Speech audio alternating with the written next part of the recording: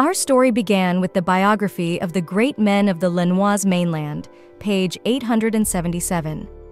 There was someone who was bestowed by the public with many numerous epithets and rewarded with the highest love and respect. He was the star of the empire, a spiritual magician unknown until that day, an unsurpassed strategist, the greatest pledge of all that exists. She was the youngest daughter of the Artin family, Evilia Artina. Not only the rulers of the empire, but even the highest demons and spirits bowed their heads before her. All the roads she traveled were covered with flowers. The traces she left behind were her achievements. But on the other hand, she wanted the simplest things. She just wanted to love and find her own little happiness. It was said that she had a very strong connection with a person who had been by her side for a long time. In a sense, one could say that she had achieved what she wanted more than anything else in the world. The events moved to the lake. There, an unknown girl was completely unconscious in the lake. It seemed to her that she had died. She couldn't understand how it happened, because until recently, she had been busy with her business and felt extremely exhausted from her work. Walking home from work in the evening, passing by the lake, she saw the silhouette of a person who seemed to be drowning in the water. This immediately alarmed and frightened her. At that moment, she quickly rushed to help the unknown person, but when she tried to catch the person by the body, she realized that she was unable to touch it at all. The heroine was very surprised by what was happening at that moment. Her eyes were like two big diamonds from the unknown. The girl lost her parents very early in life. After their death, her relatives took her in. She could not call it life, but rather survival. Therefore, her life was not sweet at all. When she was very young, she was very disappointed with her life. She was often beaten, and running away from creditors became a normal life for her. Studying was the only hope for the protagonist to save herself and achieve something in her future. Even if her life looked more like a scorched desert than a fairy tale flowering alley, she still hoped to be able to walk along it. But being in the water, she realized that she was lucky in that life, and at that moment, she only wanted peace. Opening her eyes, the heroine did not realize where she was. The whole space seemed to be pink and blue. She looked around with her big eyes and did not understand anything at all. The girl tried to remember what had happened and where she could have ended up. At some point, she thought it was the afterlife. When she opened her eyes, she saw an unknown person in front of her. At that moment, she thought that she was in heaven. But afterwards, she realized that it was probably hell. She assumed that this was due to the fact that she had died without paying her debts, she folded her arms and realized that it was definitely not hell. An unidentified person said at that moment that it was definitely not hell. It was a young man with long blue eyes. His slender posture fascinated the girl. She knelt down and quickly bowed her head because she immediately thought it was God. With her mouth wide open, the girl thought that this was not an ordinary person. She had absolutely no idea where she was. The boy looked at the girl and said that she was an unusual person. After all, his energy had no effect on her. The heroine was surprised to say that she had been told all her life that she was quite intelligent. But the unknown guy had a completely different opinion and said that she was definitely not smart. He went on to say that he had never met a person who would throw themselves into the water in an attempt to save a spirit and end up drowning themselves. The girl could not understand what he was talking about. But one thing she realized for sure was that the young man was a spirit of water. Later, he told her about it himself. He said that the spirit had accidentally slipped into the passage between the worlds that he had opened and got into the human dimension. On her own free will, a girl passing by this passage noticed his baby. Out of her ignorance and uncertainty, she decided to throw herself into the water to save him. At that moment, the heroine realized that she had died trying to save the water spirit. Although this looked like a completely unfair and worthless death, it was true. She realized that there was nothing in that world that she loved or regretted. Then she asked if she had managed to save the spirit in the water. She asked the boy about it. He replied that fortunately she had succeeded. He then added that they, the spirits, could not live where no one believed in them. If they were to come to the human dimension, they would immediately be killed. This was because there was no one in the human world who believed in spirits. One girl tried to save his child, threw herself into the water without hesitation, and gained faith. Thanks to this, the little girl was able to avoid a terrible fate. The man bowed his head and thanked the girl for that. but he was really sorry that in the process of helping her, she had lost her own life. The girl was completely upset by this. She said that she had nothing to lose anyway. At some point, she was even happy that it had happened. But the boyfriend said that she could not just take her own life. He then added that they were the kind of people who always gave as much as they received. And since the girl had lost her life trying to save his baby, it meant that her life should be the price she paid. They were indebted to the girl and therefore wanted to give her a new life. The girl was shocked by what she heard and realized that she had the opportunity to be reborn. But then the boy added that in return, she would have to forget everything about her previous life. Bowing her head and putting her hands on her knees, the girl replied that she was very grateful for his care. She said that in her whole life she had never asked God for anything, but there was something for which she was ready to ask him on her knees. Putting her hand on her chest, she asked with tears in her eyes if the Spirit could make her surrounded by the love of her family. This was what she lacked most in her life. She then added a comma, saying that if this was not possible, she would prefer not to be born at all. The spirit came closer and put its hand on her head. The girl could not understand what was happening at all. Afterwards, he said that he thought I would not have needed to ask for this. After all, he believed that the girl was one of those who deserved love. Tears came to her eyes again. She had never felt such kindness before. The events moved to the great castle. That day, it was already night outside. The stars were shining brightly in the sky. Hugo von Arten was standing at the door, the Duke.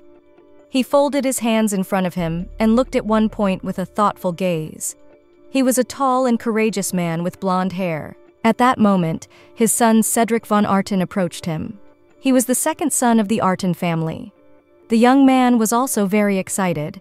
He came closer and addressed his father. Putting his hands behind his back, he told his father to rest a little. The boy tried to calm the man down and told him that everything would be fine with his mom. At that moment, the man said that his son should not reassure him because he was fine. The boy immediately apologized and said that he was not at all comfortable. Cedric stood behind Hugo and silently looked at his back. At that moment, he signified that his father could also be understood. After all, seven hours had passed since his mother had entered the delivery room. Alone, they still hadn't heard the baby cry. The Duke leaned against the door with Nadia waiting for an answer, they hoped that she and the baby would be okay. Suddenly, the door opened and a scream was heard. His scream was like thunder from heaven. There was a woman lying on the bed with a small baby in her arms. When she saw Hugo, she was very happy. It was his wife, Alicia Artina.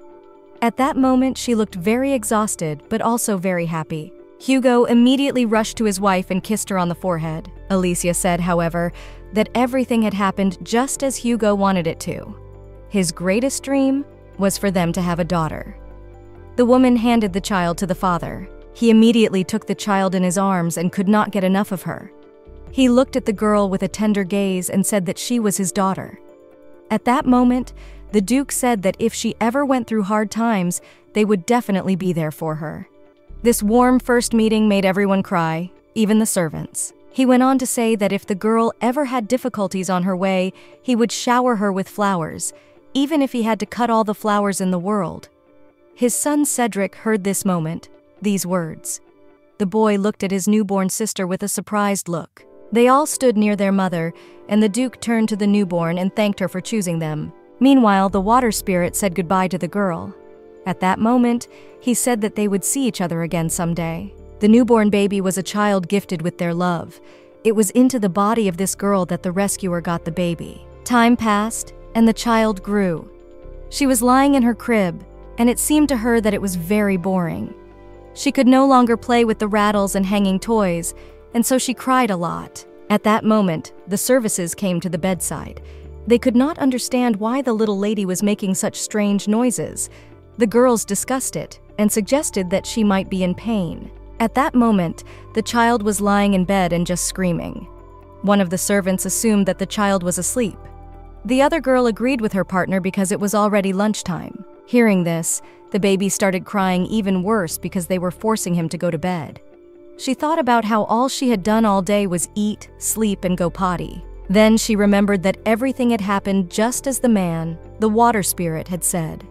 The memories of her past life were being forgotten more and more every day. The words that the body and mind are inseparable were not unfounded. A little longer, and he would have to completely forget his past and become an ordinary child. Every day was no different from the previous one, but the girl was sure that it was only for the better. At that moment, Cedric entered the room. He addressed one of the servants and called her by the name of Vivienne. He asked if his sister was already asleep. After all, she believed that her brother often visited her room. The maid replied that the little lady had just had a little snack and was about to go back to sleep. Afterwards, Cedric asked the maids to keep it a secret from his parents that he had been there. He explained that he was supposed to be at a fencing class at that moment, not walking around the rooms. The boy came closer to the crib and smilingly said that he just really wanted to look at Ava. The girl smiled and went up to him. She realized that he had decided to skip class for her. She laughed sincerely and decided that for once she had to appear to him as a nice child. This simply melted the boy's heart. He asked Vivian if he thought their Eve had smiled at him at that moment. After that, the boy said that there was no doubt that there was no one in the world who was cuter than their little Eva. He leaned over to his sister and asked her to smile at him again. From the servants who took care of the girl, she learned a little about Artan's family. One of the maids showed the toy and turned to her partner, Margaret. She said that the owner and his sons wore bracelets made of thread. They discussed that the owner had not sparred with knights for nine months because he was afraid that he might break the bracelet. There was a superstition among the people that if you wear a bracelet made of very thin thread before giving birth and make sure that it does not break, you will definitely have a beautiful daughter. The father was looking forward to the birth of his daughter, so perhaps it was not a superstition at all. But at that moment, the girl was alarmed by the fact that the maids were talking about sons, and she knew only Cedric. The eldest son, Arkan, had gone north to succeed him. The servants admired the fact that the lady had such a stylish older brother. The two young gentlemen had already become the envy of many young ladies in the capital. Even at such a young age, they paid so much attention to discipline and their duties. Wherever you looked, there was just the perfect candidate for the role of the next duke. The little lady was shocked by what she heard. The girl was thinking about how she had barely been born into a cozy and peaceful family. And then, such news. She had already made a mental note of what the return of the Duke's eldest son would be like. She was sure that when he arrived, he would tell her that since she was part of the Duke's family, she had to sacrifice her life to fulfill her duty. Her imagination of her brother was terrifying. She thought that her older brother would not let her go anywhere until she had read all the books. After her imagination, she realized that she was in bad shape. Of course, the girl did not expect a road lined with flowers, but she wanted to give up the life that would be full of unnecessary responsibilities at that moment and almost burst into tears again. That same day, a carriage with a large guard drove up to the house. Arkan von Artina arrived at the castle. He was the first son of the Artin family. Approaching his parents, he greeted them and bowed his head low. His mother immediately hugged her son and said that it was a great blessing that he had returned safe and sound. The woman was very happy to see him. The boy raised his head and asked if anything unusual had happened during the time he had been away. At that moment, the father said that something did happen. Arkan immediately thought that someone had attacked them again. But at that moment, Hugo clenched his hand into a fist and said that their Eva was very beautiful. After that, the father added that the girl looked very much like her mother, and when she laughed, she was just adorable. He then said that Eva had recently called him dad, but until then, she could not say the word mom at all. The woman added that their baby girl was not yet able to speak at all. They told their son this with a smile on their face. At that moment, Arkan did not understand at all what had happened there during the eight months he had been away. The father told him that Eva was already waiting for her older brother and ordered him to go to her immediately. Arkan said that he had to report to his father first, but at that moment, Hugo said that his brother had not seen his sister at all. Arkan replied that he had no right to put personal matters before the highest state official. At that moment, Cedric ran up to his brother. He was holding his little sister Eva in his arms. The boy immediately ran to the harness. He held little Eva in his brother's arms and told him that their little sister was very sweet. The little girl immediately decided to use her death stroke, and at that moment she stretched out her hand and smiled at the boy. Cedric motioned to the arcanist to come closer to Ava. But then the boy remembered that his brother had to report to his father, so he decided to wait for his brother and play with Eva in the meantime. Hearing this, Arkan replied that his report to his father was not that important at all. The events moved inside the castle. The whole family sat down at the evening table. Hugo went to his wife and said that he thought their little one was nothing like the one he saw yesterday. The woman leaned into the child's face and said that she was even more adorable that day. Suddenly, he asked his wife to give him his daughter in her arms. Cedric and Arkan looked at their parents in astonishment. At that moment, Cedric said that his father was very busy with governmental affairs and suggested that he should take her in his arms instead. Suddenly, Arkan interrupted his brother's conversation and said that he was not even seven years old yet and did not need to overload himself. Then the boy suggested that he should take the girl in his arms.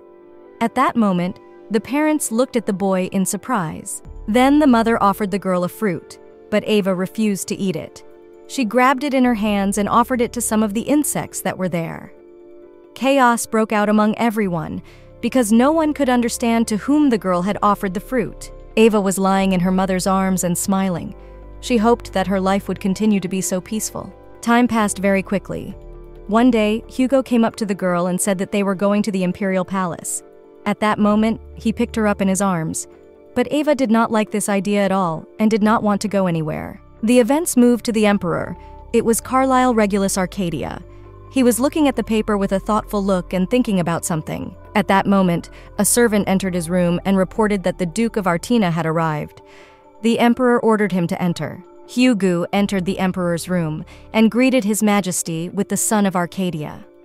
On that day, there was a feeling of a coma as if all the light of the world was concentrated on that day. The emperor said that there was no one else there but the two of them, so he invited him to talk without formality.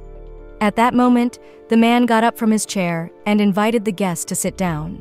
Pointing to a basket of fruit, he treated Hugo to some citrons he had brought from the kingdom. Citrine. It was a fruit with the flavor of mixing orange and lime. He thought about his husband and decided to bring them. At that moment, Hugo said that he had a request to the emperor. This surprised the man very much, and he did not know to whom a man who had practically no problems could ask for anything. Putting his hands on his knees, Hugo asked that the emperor lend him the banquet hall of the imperial palace. Carlyle was shocked to hear this. He asked the man why he needed the imperial hall. Hugo replied that he had heard everything well and asked to use His Majesty's banquet hall. Carlyle said that the Duke was aware that for centuries it had been used only for events related to the founding of their empire or the Emperor's birthday.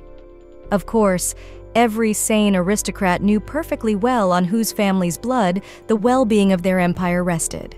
Therefore, he thought that no one would object if the man was given this right. However, the emperor was very amused by the fact that such a straightforward person as the duke decided to break all traditions and ask for more preferences. Only love between a spirit and a demon was bolder. At that moment, the emperor laughed out loud, and the duke drank his tea in silence. The emperor put his hands on the table and asked if Arkan was engaged to someone. The Duke replied that he did not need to ask for a banquet hall for Arkan's engagement because they could have done it at his own estate. Then the Duke said that in a month, their daughter Eva's birthday was to take place. This surprised the Emperor because the Duke wanted to use his banquet hall not even for his own wedding or engagement, but for a ball in honor of his daughter's birthday. He pointed his finger at Hugo and said that he had lost his mind. The Duke then added that he would also need a banquet hall when she would be going out for the first time. So the man decided to make arrangements in advance. The Emperor did not know what to say to Hugo. But at that moment, Hugo picked up the fruit basket and said that he was taking it with him. He thought that Eva would definitely like them. The Emperor looked silently after the Duke and could not understand what had happened there. Meanwhile, it was night outside and Eva was sleeping peacefully in her bed. Suddenly, she felt as if someone had touched her. She felt very warm and cozy. It was the spirit of water. He smiled at the girl and said that she looked happy. The boy gently stroked the girl's head while she was sleeping. He told her to call him and he would be waiting for her. Ava opened her eyes and saw the silhouette in front of her, but at that moment she was very sleepy, so she fell asleep again. In the morning, her brother came to the girl's bedside. When Eva woke up, she thought she had a dream, as if Arkan had come to her. She realized that that day was special and she had to wake up. The boy took her in his arms, hugged her gently, and wished his sister a happy birthday. The boy was very happy to be the first to congratulate Ava. He woke up early and ran to her especially for this purpose. He gently hugged her and kissed her. In a moment, the girl realized that it was her birthday. She was dressed in the most beautiful dress. Her Majesty had specially ordered that dress for her daughter. Ava went to the mirror and was fascinated by her appearance. She thought that it was the hygiene that made her look so beautiful. At that moment, the woman realized that the girl liked her very much. Meanwhile, Cedric was thinking that he needed to put more effort into fencing, as he felt that in the future, he would have many duels with all kinds of hooligans. The father, mother, and brother entered the room. They were fascinated by the beauty of the birthday girl. The mother said that that day their little girl was simply magical. Cedric ran up to the girl and caught her hands and said that Eva was very sweet. The mother stood on the side and was happy to see such a friendly relationship between the brother and sister. The father approached the birthday girl and leaned over and put his hand to her face, looking into her eyes and wishing her a happy birthday. After that, Hugo asked if he was the first to congratulate her. Then he said that he had prepared the best gift for the girl and asked her to walk. Raising her hands, she said that they should go to the imperial palace. But the birthday girl did not like this idea at all and did not want to go anywhere. The girl believed that it was her birthday, and they did not need to go to the imperial palace that day. Eva just wanted a quiet and peaceful life. The girl hoped that someone would be able to calm down the family. At that moment, her mother said that Hugo had ordered a new carriage for the occasion. The Duke replied that he had to use all kinds of magic to prevent the shaking and scare away insects. The events moved to the Imperial Palace. It was there that the banquet on the occasion of little Ava's birthday was about to begin. The guests discussed the little girl and said that she was very charming and took after her mother. Everyone noticed that Eva had very beautiful golden hair, like the rays of the sun. It was the color she took after her father. Not everyone supported the idea of celebrating the little girl's birthday in His Majesty's banquet hall.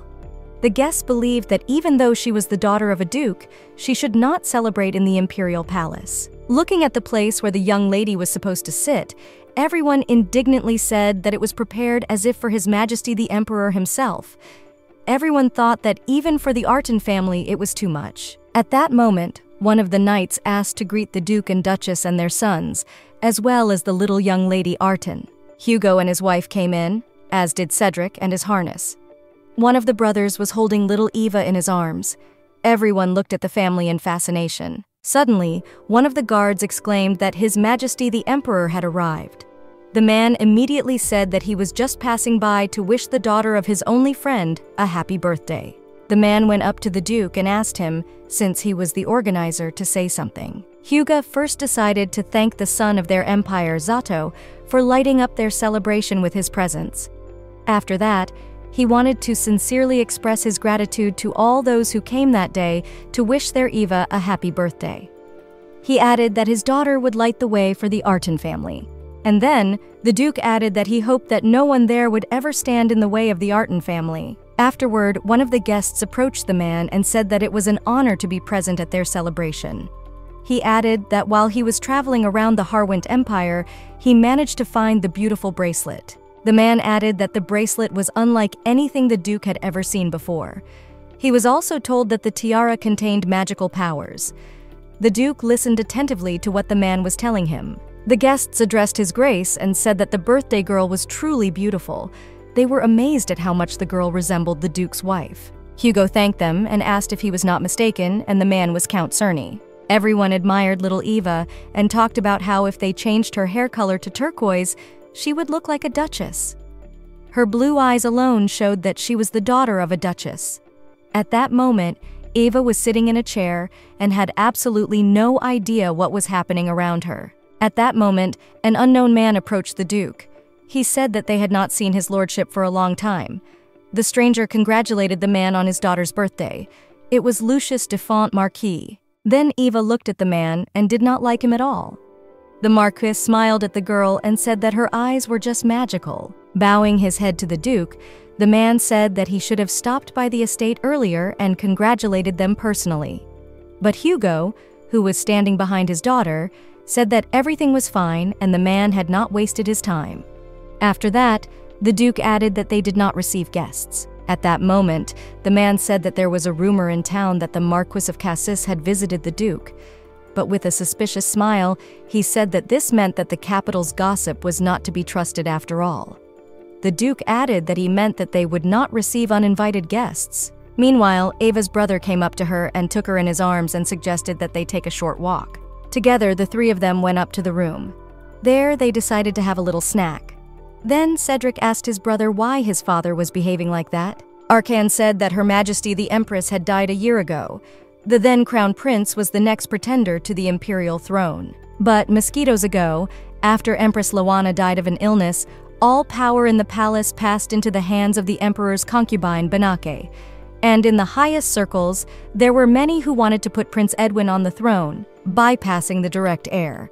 Unfortunately, the situation was very serious. The crown prince still retained the right to the throne, and it was even clear that he was the natural born emperor. However, the fact that he had no proper maternal relatives could have been fatal for him. The Marquis of Defon used the situation to get closer to the crown prince. And if the crown prince ascended the throne, the Marquis could easily become a favorite. It was possible that even he could take the place of the Duke. That is why he and his father had such a tense relationship. As Ava was listening attentively to her brother's story, she realized that something strange had happened. The girl thought about how her eyesight could have gone bad at such a young age. She saw a man with the mark of a lord in front of her. This was the only creature that had received his blessing. Malyutka turned to the girl and said that Eva was the first person who understood them, even though they hadn't made a contract for anything. Malyutka went on to say that the girl's energy was as pure as the bishop's. It was a very fresh feeling. She was very pleased to be near Ava. The girl did not understand at all about which Vladika Malyutka was talking to her. Then she told her that they all appeared thanks to him. They were called to protect him. He was the Lord who owned all the waters of that world. The little girl told Eve to make a covenant with them. The girl did not understand what the unknown creature meant. Then she went on to say that they were all waiting until her body was mature enough to fulfill the terms of the agreement. From that day on, they would promise to protect her. Eve watched and did not understand how such small fish could protect her. It seemed to her that it was she who had to protect them, so that someone would not accidentally hurt them with a fishing rod. Then, Ava shouted out that she would protect them and they would be her friends now. The little girl was embarrassed at how she was supposed to be friends with the spirits. The gossip said that Eva was a difficult person. Then she ordered the girl to repeat everything after her. At that moment, the heroine said that she didn't know how to speak yet, but Malyutka replied that it was enough for her to just think. Heaven and earth, fire and water, on the side of the scale where the worlds of the Foundation are located, she was lonely. Daring to ask her to be her companion, she offered her soul in exchange. Water is the foundation of the foundations. She said that she should simply be her companion. The very foundation of water is completely her spirit, and then she vowed to be her sword and shield on her path. Meanwhile, the banquet continued.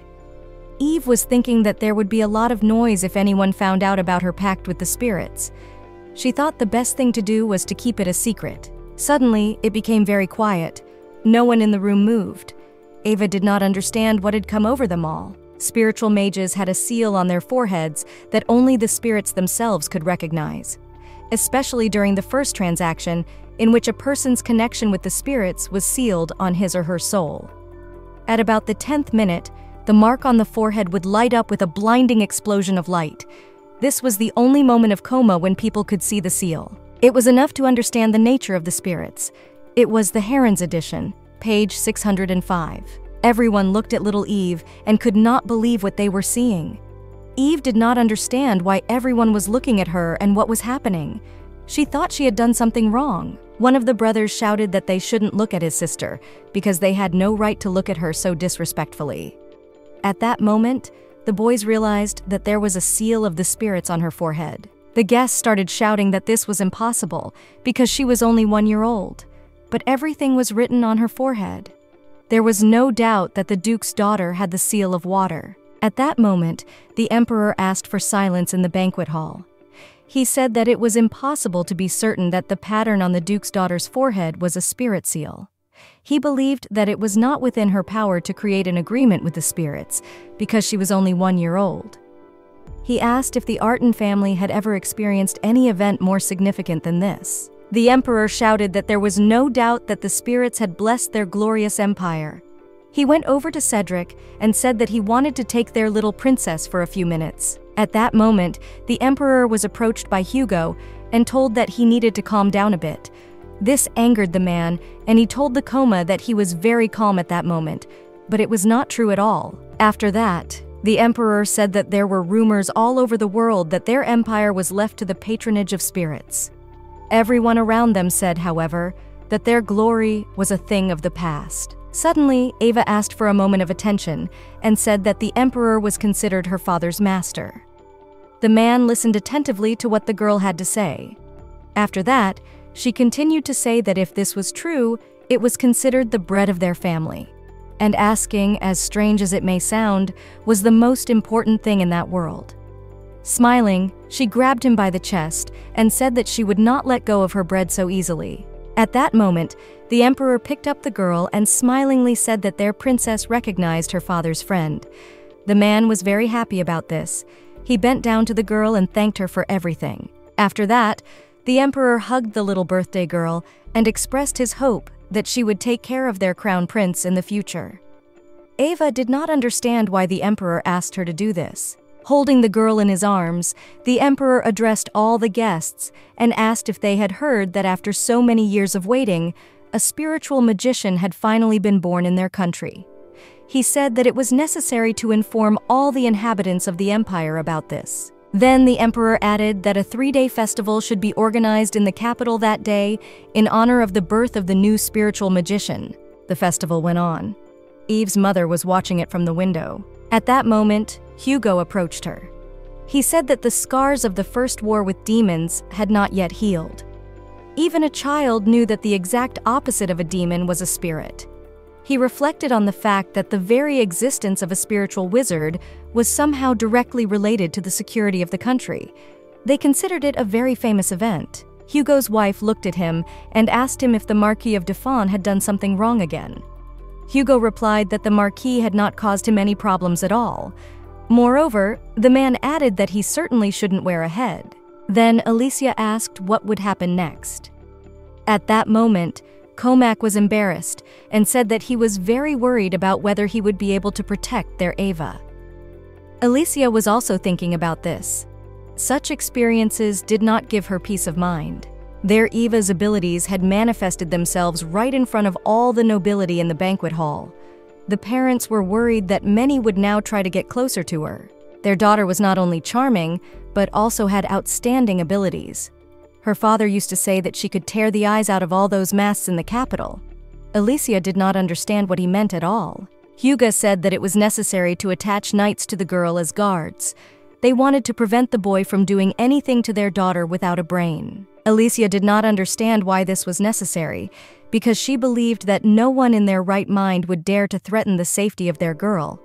But after thinking about it for a few minutes, she agreed to introduce the knights to her. The woman thought it was a very good idea. After discussing everything, they decided that they needed to call those guys to the capital. It was necessary to protect their daughter. Eliza already thought she could hear them barking. Meanwhile, gossip about the selection of knights to protect their lady was already spreading through the city. One of Arton's knights even heard about it to the herald. Another knight, Twain, replied that he had refused to do so. They discussed that there would be no fun for them if there were no demons, no bad guys from the kingdom. The herald also said that he refused. He thought it was very boring in that capital. One of Arton's knights, Alec, said that he had heard that the young lady was very much like her mother.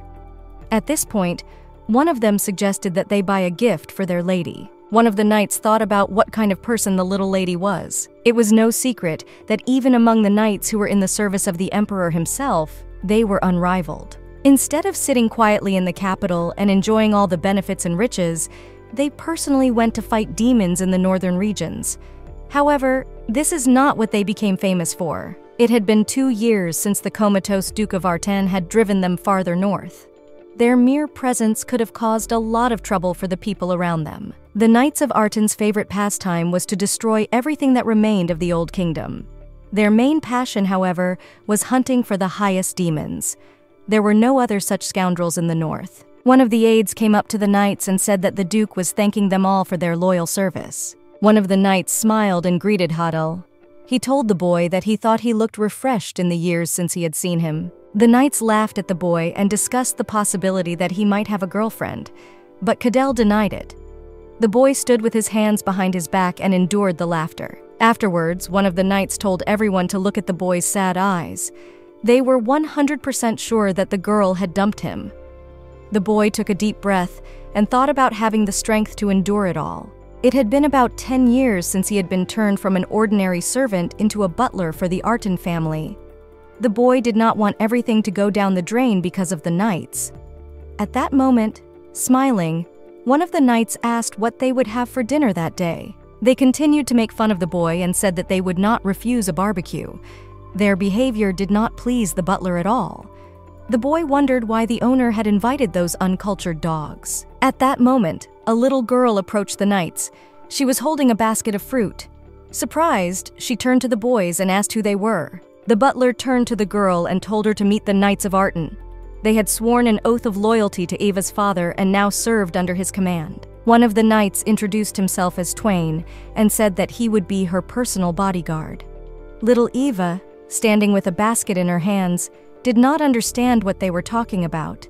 Because of her age, she mispronounced the words. At that moment, the herald interrupted his friend and said that he would be her personal bodyguard. Then he added that he was just a master at reading fairy tales. The little girl smiled and realized that it was very noisy, but it made her very happy. She took a raspberry from the basket and handed it to one of the knights. Then she said hello to him. Looking at the little princess, the knights said that they would not go north anymore. They no longer needed the demons or the soldiers of the kingdom. At that moment, Hugo approached the knights. He said that the boys had done a great job that day. Bowing their heads, they greeted his lordship. At that moment, the girl put her hand on her chest and began to repeat everything the knights had said about their arrival. The knights turned their heads and asked the little lady what she was talking about at that moment. But one of them made a remark to the others and told them that the Duke was standing in front of them. But the boys wanted to hear again what the girl had said. Meanwhile, Hugo was looking at little Ava and was fascinated by her cuteness. Ava ran up to her father and hugged him, with a smile on her face, she told him that the knights would report to him about their arrival. Even the butler smiled and realized that they had a fun future ahead of them. After all, only one person was needed for the role of permanent bodyguard. A month passed. The knights were training hard. During the training, little Eva came up to them. One of the boys sat down and asked the girl what she was doing at the training ground. The girl opened her kama bag that she was carrying on her shoulder and said that it was for adventures. When the knights saw all the things that fell out of the bag, they thought that their lady was having a picnic and not looking for adventure. The boys thought she was a real adventurer because she had brought only the most necessary things. The knights smiled and said that the girl had done everything right and that it was better to leave such unnecessary things as veal, sleeping bags, and knives to them. At that moment, Ava's brother came up to them and said that she could not go on the journey alone. He offered to accompany her and they set off together. Ava was very happy about this and suggested that they all go on the journey together. At that moment, one of the knights said that they were ready to go with her even to catch the Demon King. And then one of the boys asked if the girl would like to hear about their adventures. Eva liked the idea very much and was eager to hear all the stories. At that moment, Hugo came up to them. He turned to the knights and told them to keep it in moderation, the man warned them that they had to go back to the training ground. Then, one of the knight's boys said that the Duke was wrong, and he did not see the letter almost fall on the lady. Eva stood in the middle of all the knights and did not understand what they meant. Hugo looked at his little daughter and wondered which of all the worthy knights should become her guardian. All the knights stood around the girl. At that moment, she smiled and shouted out, but she already knew who would be her guardian. Approaching one of them, Eva said that she chose him. The guy bowed his head and rested, completely confused by what had happened. When he came back to his room, he was very happy, and the other knights were shocked by the choice. The evening came. Hugo called the coma knight Ava had chosen to talk to him. The man told the boy that he was still very young and would probably fail. Alone, it meant that he had room to grow in the future. The boy stood silently and listened to everything that Hertz told him. Hugo came closer to the boy and smilingly asked him to take care of their Eva. At that moment, the boy remembered how, as a child, he was running away from bad people. He caught his foot on a branch and fell down, and that's how the murderers managed to catch up with him. One of them asked the boy if he thought he could get away from them. They talked about how killing a child was not the most pleasant thing to do, but it was an order they had to obey. Waving his hand at the boy, one of the killers said that they had been kind to the little orphan. The boy closed his eyes and suddenly felt a man appear in front of him. It was Hugo. Then he told the boy to follow him. It was he who decided to give him a chance. He was a ray of light in the terrible darkness. He was the one who brought the boy out of poverty and made him a respectable knight. And instead of becoming a simple hired killer, the boy went to destroy those who posed a threat to their empire. The Duke of Artan was a light and a god to the boy, so the knight could not let him down. The boy swore that he would do everything to make sure that the girl was okay. Then he added that his soul belonged entirely to the little lady. The next day, in the morning, the little girl was sleeping peacefully in her crib, gently hugging her favorite toy. At that moment, her brother entered the room and touched her cheek with his finger.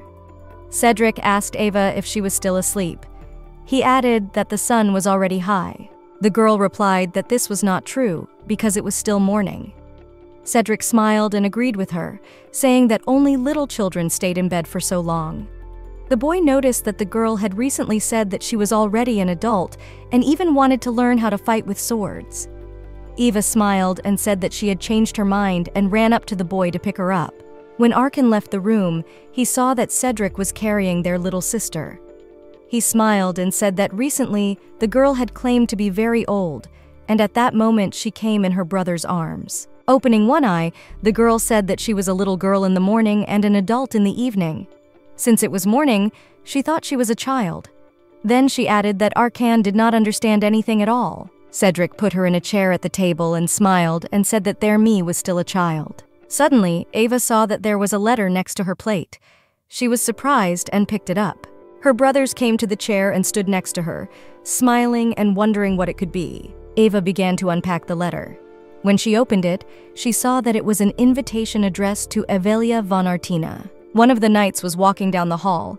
At that moment, suddenly, he heard a sharp sound and as if someone pushed him in the shoulder. Turning his head back, the boy saw a small young lady who smiled at the knight and called him by the name of Harold. The knight immediately ran to the girl and picked her up and greeted her. They were both very happy to see each other. The girl took the letter and showed it to the boy. Harold read it and realized that it was an invitation from the Marquis of Cassis. Since ancient times, the Cassis family has been famous for its many outstanding magicians. At that time, the Marquis of Cassis was a close comrade in arms of His Majesty the Emperor and their Lord the Duke. They went through many difficulties together. The herald was upset and said that he would have no one to play with if the girl went to the Marquis. Ava looked at her friend excitedly. Then she wagged her finger at the boy and said that he was already very old, so he could have gone and played by himself a long time ago. With a serious face, she asked the boy when he would finally grow up. The hero was embarrassed because he could not believe that a three year old girl the size of a cup of tea was asking him when he would finally grow up. He thought it was too much for the little lady. A few days later, a carriage pulled up to the castle. Hugo and Alicia were on their way to the event. At that moment, Ava was playing sweetly with the herald. Alicia turned to the girl and told her that it was time to go. Taking her favorite toy, the girl told her friend that she would be back soon.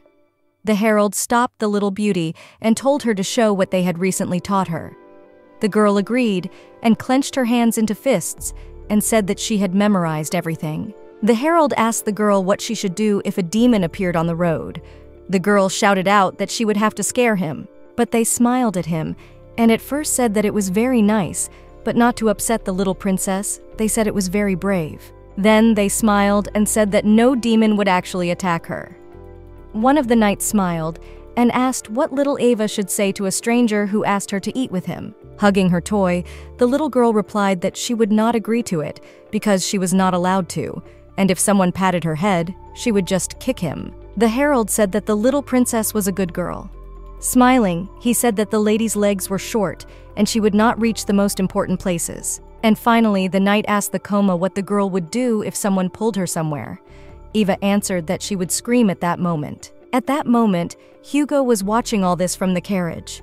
The man realized that the knights were not wasting their time with Eva. Alicia interrupted the conversation and said that someone should tell the knights to stop teaching the girl all the time about all sorts of pointless things. He smiled and said that they had finally done something worthwhile. That day, he allowed them to stop training and rest. Alicia looked at Hugo and thought that her husband was becoming a round fool when it came to his daughter. At that moment, Eva ran up to her father. In her opinion, these were the knights of the coma who seemed to be very sad, but turned out to be very violent. The knights ran up to the carriage and asked to be taken to the party. At this point, Hugo said that only Karen and Eden would go. On the way, Alicia kept thinking about what would happen when Ava grew up. The woman recalled how once, while passing, the girl saw a toy hare through the carriage windows. Hugo immediately ordered to buy one for her. At that moment, Eva just wanted to show him how big he was, and then her father decided to make a bear friend for his daughter. He became Ava's only friend in eating, sleeping, and playing. This teddy bear was a jack of all trades, but he nevertheless complimented the existing forest of toys. Riding in the carriage, the girl hugged her favorite toy. She considered it a real friend. During the trip, Eva asked Cedric if she could find many friends there. The boy immediately thought about it and did not even know what to answer his little sister. After thinking for a few minutes, he said that besides them, there would be children from other families there, so he thought that the girl would be able to make friends with someone. Eva looked at her brother fascinated. She liked this answer and was even happy about it. Hugo was the only Duke of the Empire. His fame was as great as it was difficult. Many people put on a mask of benevolence and became close to the Duke for the sake of occasional gain. Others tried to find out about his weaknesses and engaged in open hostility with him. In such situations, finding a true friend was like grabbing a star with your hand. He really hoped that his star would not be damaged by this, and Eva, hugging her favorite toy, hoped that it would make many friends. But her father did not stop worrying about the topic so that the truth of the other world would not bring her much pain. The family arrived at their destination. At the entrance, they were met by a young boy with outstretched hands. He said that they had not seen each other for a long time. The man could not even remember the last time the Duke had visited them. The Duke replied that he had been holding back and had not come until the man himself showed up at his office in the Imperial Palace and begged him through tears to come. He smiled and said that he really wanted to see his daughter rather than him. He smiled at that. Hugo replied that even if he had come to visit him, he would have hidden his daughter from that man. At that moment, the incredible little Princess Eva came out of the carriage. With her head bowed low, she greeted him and wished their family magical prosperity. After that, the girl introduced herself. The man looked at the lady with joy and said that the little princess had grown a lot since they had last seen each other. Then the Marquis decided to introduce them to his daughter and son. The boy came closer and introduced himself by name and Ikrian Cassis and met the girl. He came closer to the girl, took her hand, and kissed her. After that, Ikrian thanked the little princess from the bottom of his heart for visiting them. At that moment, the girl remembered how her father had given her instructions on the way. He said that she should not get close to the heir to the Cassis family, Ikrian. The father said that the boy was a bandit and would not spare even a sheep. Recalling those words, Eva immediately realized that the boy looked like a sweet fox. His little sister's name was Lillian. The boy invited her to meet her. The girl came closer and introduced herself to the Ariani family. Bowing, she expressed her hope that they would become friends. Then, the Marquis came closer to the girls and said that their Lillian was very weak and had no friends at all. He suggested that the girl would be incredibly happy if she and Eva became friends. Liliana thought that Eva was the daughter of a duke from the noble and noble Arton family. She assumed that Eva might not have liked a weak and cowardly girl like her. Eva approached Liliana and took her hand. She invited her to become friends. Sometimes no reason was needed to become real friends. They thought that in the future, they would often remember that time. It was the moment when their eyes first met. It was the moment when they intuitively felt that they would become friends forever. Meanwhile, everyone entered the castle. The girls sat down on the floor, near a small table where many toys were scattered. Liliana opened a box of cookies and gave them to her new friend. At that moment, the Marquis family realized who they had been so proud of all day. After all, Eva had beautiful golden hair and ocean colored eyes. She was a favorite of the spirits. But still, it was immediately obvious that she was different from Liliana. She was like a little star. When one of Eva's brothers saw Ikrian's look, he turned to him and told him not to even dream of harming her. The boy smiled and said that Arkan shouldn't even worry, because he liked the older ones. He said that in his opinion, a mature lady was much better than a little girl. The brothers were shocked by Ikrian's response. At that moment, the boy said that he would feel very sorry for the poor man she would fall in love with. After all, he would have to deal with her two brothers. Hearing this, Arkan ran up to the boy and said that they would never allow the girl to have a lover. That's when Ikrian realized that the boy was the number two problem. He didn't know who Ava's lover would be, but apparently, it seemed to him that every second his life would hang in the balance. Meanwhile, Eva's parents were invited to a picnic in their beautiful garden. It was a picnic for adults. They also went to the backyard. There they saw a picture they did not like at all. Arkan said that it was a real hell. Ikrian turned to Arkan and suggested that they go sparring. He said that they hadn't spent much time training lately. At that moment, Arkan said that was the most important thought. Cedric raised his hand and said he would go with them because fencing was very important. Looking at the hell that was going on around them, even fencing seemed worthwhile. At that moment, the boys remembered that Eva and Liliana were with them. They suggested that the girls come with them and play with them. Eva told them that she wanted to stay there because she thought it would be interesting, that they would stay together. Ikrian was surprised by his sister's decision and said that she would never leave his side. After that, the boyfriend agreed and said that if anyone offended them, they should definitely call them. At that moment, Ava told the boys not to worry because she could take care of herself.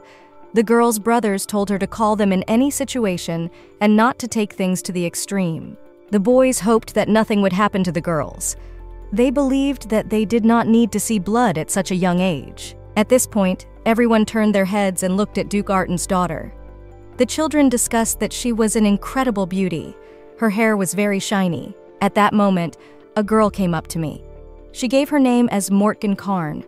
She was the daughter of Count Karen. The girl said that she had heard a lot about Eva. Then, many unknown girls began to flock to the little princess and invited her to tea if she had the opportunity. At that moment, it seemed to Eva that the time had come to fight for her life and death. Suddenly, meanwhile, a girl in a beautiful red dress approached the girl. She asked if Eva was the daughter of Duke Arten. She said her name was Ceres. She was the daughter of the Marquis of Defont. Ava was sitting on a bench, and when she saw the young girl, she was very happy to meet her. Ceres asked Ava if she had ever been taught that it was not a sign of good manners to come to a party and make such a fuss. The girl smiled and said that Ava might not have quite understood the rules of etiquette yet. She said that the girl was not worried and decided to help her with this. When several people greeted her at the same time, she had to stand up and greet them respectfully. It seemed that Ava did not know much. Then she said that there was nothing to be ashamed of, because the girl was still very young. Ava listened attentively and did not understand what she meant. Ava couldn't remember where she had heard the name Defont before. When she remembered, she realized that it was the same slippery type of Defont. Eva realized that this girl was a copy of her father. At that moment, Eva thought that she would be her savior because she looked so cute. But then the little princess realized that the queen was even dumber than she was. The daughter of the most powerful man in the empire, the first beauty in the country, and the future queen of socialites. The closest friend of the empress's successor. All these words used to belong to the Tsarina. At least, that's what everyone thought before Eva Artina was born. About two years ago, when the girl celebrated her first birthday and the whole country learned about her, at one point the Serena lost everything. Ceres believed that Eva lacked stars from the sky, and there was nothing special about her. In addition, she heard that soon the Arten family was going to end, and when it happened, Ceres dreamed of being able to push Eva around like a slave. She looked down on the little girl and asked her if the knights had returned to the capital. Then she added that the city was talking about how the knights had fled from the front in fear of demonic creatures. This made the little princess very angry. Ceres smiled and said that the girl finally showed at least some reaction. Looking at Ceres with a frown, Eva asked how she dared to insult her knights. At this point, she invited little Undine over. Eve said that she was not going to tolerate insults to her knights. At that moment, something strange began to happen near the children. The shadow of an unknown creature appeared. One of the children shouted out that it was Dantalion. Who was the boy talking about? Demons were basically divided into two categories ordinary demons and the 72 Lemegeton demons, who had exceptional power. Ordinary demons were completely and unquestioningly devoted to them. The Dantalians, however, did not obey the 72 demons and were branded as apostates. They were completely expelled from the demon lands and as a result had to survive by eating scraps that fell from the farthest corners. They had neither arrogance nor fear. The only thing that drove them was the desire to tear apart everything that got in their way. At that moment, one of the demons grabbed Eve and threw her to the ground. No one could understand what was happening, and only the queen stood there smiling. Then Eve turned to Undina for help, but she thought that the creature could have eaten her too. This made the little girl cry. Eva tried to fight the monster, but at one point she began to call her brothers for help. At that moment, her brother came running to the girl's aid and asked if she was okay. Everyone quickly rushed to the girls, and Arkan shouted that Eva should be taken to a safe place quickly. Ikrian went up to the boy and told him not to make a big hero out of himself. Arkan was thinking about what he should do, because it was impossible to take Dantalians by the dozen, and to resist two was considered a feat. At that moment, the Duke approached them. Seeing the tense atmosphere, he asked what was going on.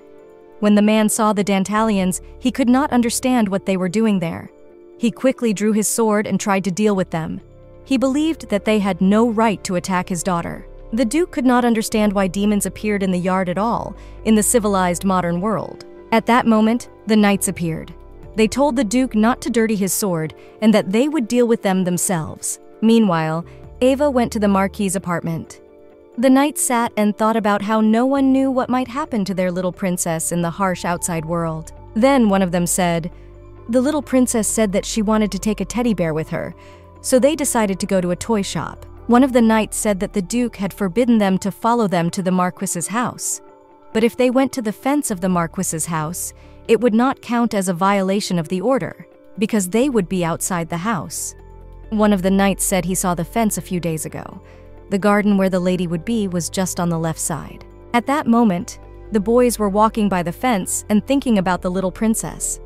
As they approached the gate, they realized that they had arrived at their destination. Then they heard a little girl calling for help, so they came to her aid. The knights shouted, however, that it was all their fault that their lady had stumbled and was crying. The Duke was not at all happy that the knights had appeared there. He was sure that it was his own fault for believing them, that those cretins would just sit idly by. All the guests were surprised at how quickly the knights managed to deal with a dozen Dantalians. When the girl saw her knights, she burst into tears. They were not the boys she knew. Karen picked up a little bunny and gave it to Eve.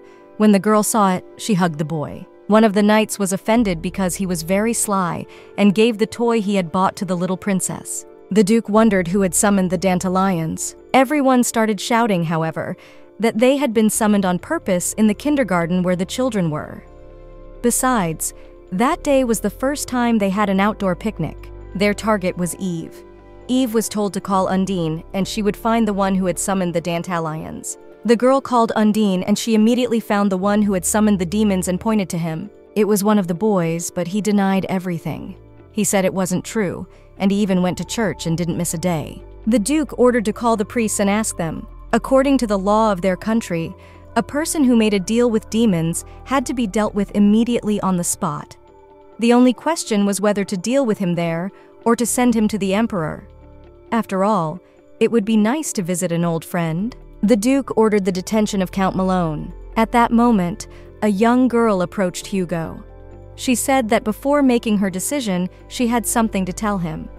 When the Dantalions appeared, Miss Eva tried to step back. One of them, Count Malona's daughter, pushed her towards the demons, and she said that Mrs. Artina just stumbled when she got out of her chair. Undina also confirmed the girl's words. She said that everyone saw what really happened. That girl pushed their little Ava. Count Malona's daughter still denied what the others said. Her father summoned demons, and his daughter pushed the Duke's daughter in their direction. As it turned out, someone had ordered them to deal with Artan's daughter. After he gets the power in his hands and Lillian becomes their mistress, he will be given the title of Marquis. That was the agreement. The man said that he would have his back. The Duke returned to the harness and ordered the boy to come to him. He told him to take Eva and the other children with him and lead them away, except for young Mrs. Defont and Mrs. Malone. Arkan approached the girl and asked her to come with him. Eva looked at her father and realized that he was very angry. Arkan hugged the little princess and told her that everything would be fine. Then he added that the demons had almost gotten to her. If they had waited a little longer, they would never have seen little Eva again. Arkan said that if his father did not do it, he would deal with them himself. The Duke had to deal with the Count and his daughter right there and then. Therefore, there would not be a single person in the country who could condemn him. At that moment, the knights rushed to deal with the enemies. Meanwhile, the Duke approached the Marquis of Defont and put his sword to him. He asked the man if he thought that Hugo would not find out about his dark deeds. The man began to smile and pretended to be comatose, as if he did not understand what he was asking him. He said that the Duke would explain it to him, but first he would take the sword away from his head. The Marquis told the Duke that there was no evidence that he was behind the attempt to kill his daughter. The man looked him in the eye and said that he could not have killed him right there. Hugo was very angry. He told the man to take a good look. The laws of the Empire did not allow him to get rid of him at that moment, but human life was not always subject to laws. One of the men apologized to the Duke, but it was his fault for not watching the guests and his daughter was hurt. At that moment, Hugo replied that sooner or later, it had to happen. After all, two years ago, everyone saw the coma as Eva's manifestation of her abilities, but they thought that this should not have affected the children's souls in any way. The next day, Lillian and Eva were walking together in the yard. Eva called her comatose friend to look at a bunny she saw in the garden. At that moment, an unseen guard of knights came out of the bushes and smilingly asked the girl if she wanted them to catch it. With a furrowed brow, Eva replied that it was not possible to catch a bunny and ordered the knights to stand to the side and watch. She shouted, however, that she was off to find the bunny. The guards did not like it at all. Running into the woods, the girl saw the emerald in front of her and quickly rushed to it. As it turned out, it was on the ear of a boy. When he heard someone pulling on his ear, he turned around and saw little Eva. He asked her what she was doing there and how she had found him. Then Eva asked who he was. The boy smiled and said that he was a demon. The girl did not understand what a demon was. She thought it was a devil. At that moment, the boy said that you can't compare a demon with devils. After that, the boy told her that he was one of the 72 demons who controlled the devils, and there, he was the second most important. At that moment, the girl did not know what to do. She realized that she had gotten into another story. Then she remembered what instructions the knights had given her and what to do if a demon appeared on the road. She began to follow all the instructions. But the demon was not affected at all, and he asked her if she was human to the beast. When he looked at her, he saw that she did not have the ears of an animal and that her claws were sharp. He also noticed that she had no tail. Then Eve said that she was a human and began to roar loudly. The boy stood in front of her and asked her why she was screaming like that. The girl replied that it was a scary scream, but this only made the boy laugh. Eve was angry at the demon's reaction. He replied that all demons laughed when they were very scared. The girl came closer and grabbed the boy's pants and asked him his name. At first, the demon wanted to tell her his name, but thought for a few minutes and answered that he did not tell others his name that easily. Hearing that the demon called himself Aha, the girl laughed and started calling him that. The boy did not like this and told her that she had no right to make fun of his great name. Meanwhile, the knights entered the forest in search of Eva. They shouted her name loudly, trying to reach her. At that moment, the demon realized that this child was from Artan's family. In addition, the smell of perfume was coming from her slightly. Normally, he would have killed her right away, but here, he decided to get to know her better. He sat down next to her and asked her name. The girl told him her name, and then the demon asked that their acquaintance and meeting be their secret. If the girl told anyone that she had seen the bunny, he would be very grateful to her. After that, the demon immediately disappeared. Her brothers and knights ran up to Eva. They asked her what she was doing there alone. One of the brothers immediately took her in his arms and hugged her tightly. Then, after thinking for a few minutes, Eva said that she had seen a bunny there and it was very cute. She hoped that someday she would meet the demon again. Meanwhile, the demon was thinking about his meeting with Eva. It had been a long time since humans had called for Dantalians, so he came to see. He thought it was very boring and he was too old for it. He laid down by a tree and decided to take a nap. He was still thinking about the meeting with little Eve. He had not met such interesting people for a very long time. He was an Agorist. He was the second among the 72 demons. He was the ruler of the Eastern Hell. Meanwhile, little Eve's servants were worried about how their ward was spending her time. They heard that the girl had a hard time. At that moment, the women thought she was already asleep. One of the maids saw the Duke's carriage arrive at the house. The woman immediately shouted it out. The Duke brought little Eva into the house in his arms. When she opened her eyes, the girl could not understand why everyone had suddenly run there. After that, she smiled and said that she had seen everyone before she arrived. The little princess loved the atmosphere and shouted that she was back. With tears in their eyes, the servants welcomed the little girl back. They told the little princess that she was very brave and strong. After that, Eva immediately went to take a bath and changed her clothes and went to bed. When she entered her room, she saw that everything was covered with toys. The knights had given her many gifts. Eva was not quite happy with these gifts. She said that she would not have a place to live with them. After thinking for a few minutes, she asked the maid if she could give the rest of the toys to other children. The woman smiled and said that the little lady was very generous. Eva replied that there were just too many toys. The woman said goodnight and sleep well to the little princess and left. Then, little Eva saw the boy in front of her again. He smiled and said that he really was a very nice bunny. He then added that the girl wanted to see him again, and that is why he had come. The girl was very happy to see the boy. She said that he had come to her in a dream and invited him to play with her. Meanwhile, the water spirit remembered Eva and followed her. Before meeting her, he had only once had to deal with people. In all dimensions, people were selfish beings who were driven by petty fears. As a lord of spirits, he was able to see the essence of the soul, which is why he could distinguish the color of human souls. Even when he ran away from the sadness of the human world in search of entertainment, their souls were all black and sad. He was disgusted even to look at them. Perhaps there was a great deal of distrust of those creatures. Worthless carts were running back and forth. He would never have thought that in that unconditional world there would be a person who believed in spirits. However, she behaved very strangely. To him, she was an incredible fool who drowned in an attempt to save the water spirit. Nevertheless, this fool saved Malyutka at the cost of her own life.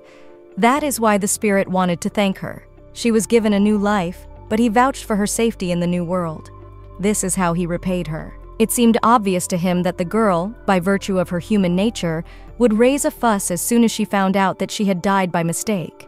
Especially if she found out that she had to give her life not even for a person, but for a spirit. He thought the girl would be very sorry for her part. Fortunately, in the end, the spirit was fine. When the girl heard this, she was very happy. When he saw a grateful soul who had no equal among people for many thousands of years, it was simply impossible for him not to imitate and make a mistake. Despite the fact that she had forgotten her past life, the golden color of her soul had not changed at all. Sharing the joys and sorrows of her loved ones, she grew up with a bright smile on her face. And now, the spirit was just happy to follow the first steps of that girl. For the first time in his life, without any great meaning, he wanted to become a sword and shield for someone. However, there was no contract between them, and he could not arbitrarily ignore the existing restrictions. Possessing a power comparable to that of a divine, he nevertheless could not influence people's lives. But the man was sure that Eve would call him one day. Meanwhile, the little girl in the red dress turned to her father with a claim that he had told her that something would definitely happen to Eve that day. She was very angry that their plan did not work. At that moment, the spirit of water turned to the man and asked him what he was thinking when he decided to approach the girl. The man had previously emphasized many times that if he wanted to oppose the Arton family, he had to be very careful. Gossip began to circulate in the Duke's estate that after a banquet in honor of Marquis Cassis's birthday, the Marquis de Fond's carriage had overturned for an unknown reason. Further details were never clarified. The Duke's men alone had no time to think about it. Meanwhile, the little princess approached Karen and called him by name. She caught him by the shirt and told him to come with her to find a secret shelter. Since Eva could create a whole commotion in the estate with just one word, the servant started laughing at her and said that she already needed a personal space. The girl did not like that everyone walked around her room whenever they wanted. It annoyed her a lot. She thought that if she wanted to spend time alone, she would really need a secret shelter. In search of a secret shelter, they went with Karen on horseback. The girl imagined her shelter to be like the one Cedric had read about in fairy tales. She wanted it to be surrounded by cute animals and flowers. She also dreamed that the sun would always shine and birds would sing there. Eva turned to Undina and asked her why there was no place with water, flowers, and cute animals anywhere. Her question made the little girl laugh. She was also very curious about what their bird would grow up to be. Eva smiled and said that the bird would grow into a bird. At that moment, they started arguing with Undina. Then Baby said that she knew where the perfect place to hide was. Undine said she would tell them, but only if Eva didn't do anything stupid. When the little princess heard this, she called the baby a genius and said that they shouldn't have wasted a minute. Then the little girl ordered Karen to go faster. After crossing the mountains and crossing the water, they found the beautiful town that Undine had spoken of. Eve was very enchanted and loved the place. When the knights heard that the lady was building a shelter for herself, they were shocked. The knights spared no effort in using their outstanding sword skills to work the wood, and the duke's people, who were watching, were preparing snacks for the secret shelter. For this purpose, they preserved everything. They also laid out beautiful furniture and searched for a magic coma stone that would drive away monsters. After that, they planted flowers everywhere. Everyone got involved in the creation of the secret shelter. As a result, by the end of the construction, every person in the estate knew about the secret shelter. The girl was very happy that she managed to create such a house. She had a wonderful necklace around her neck.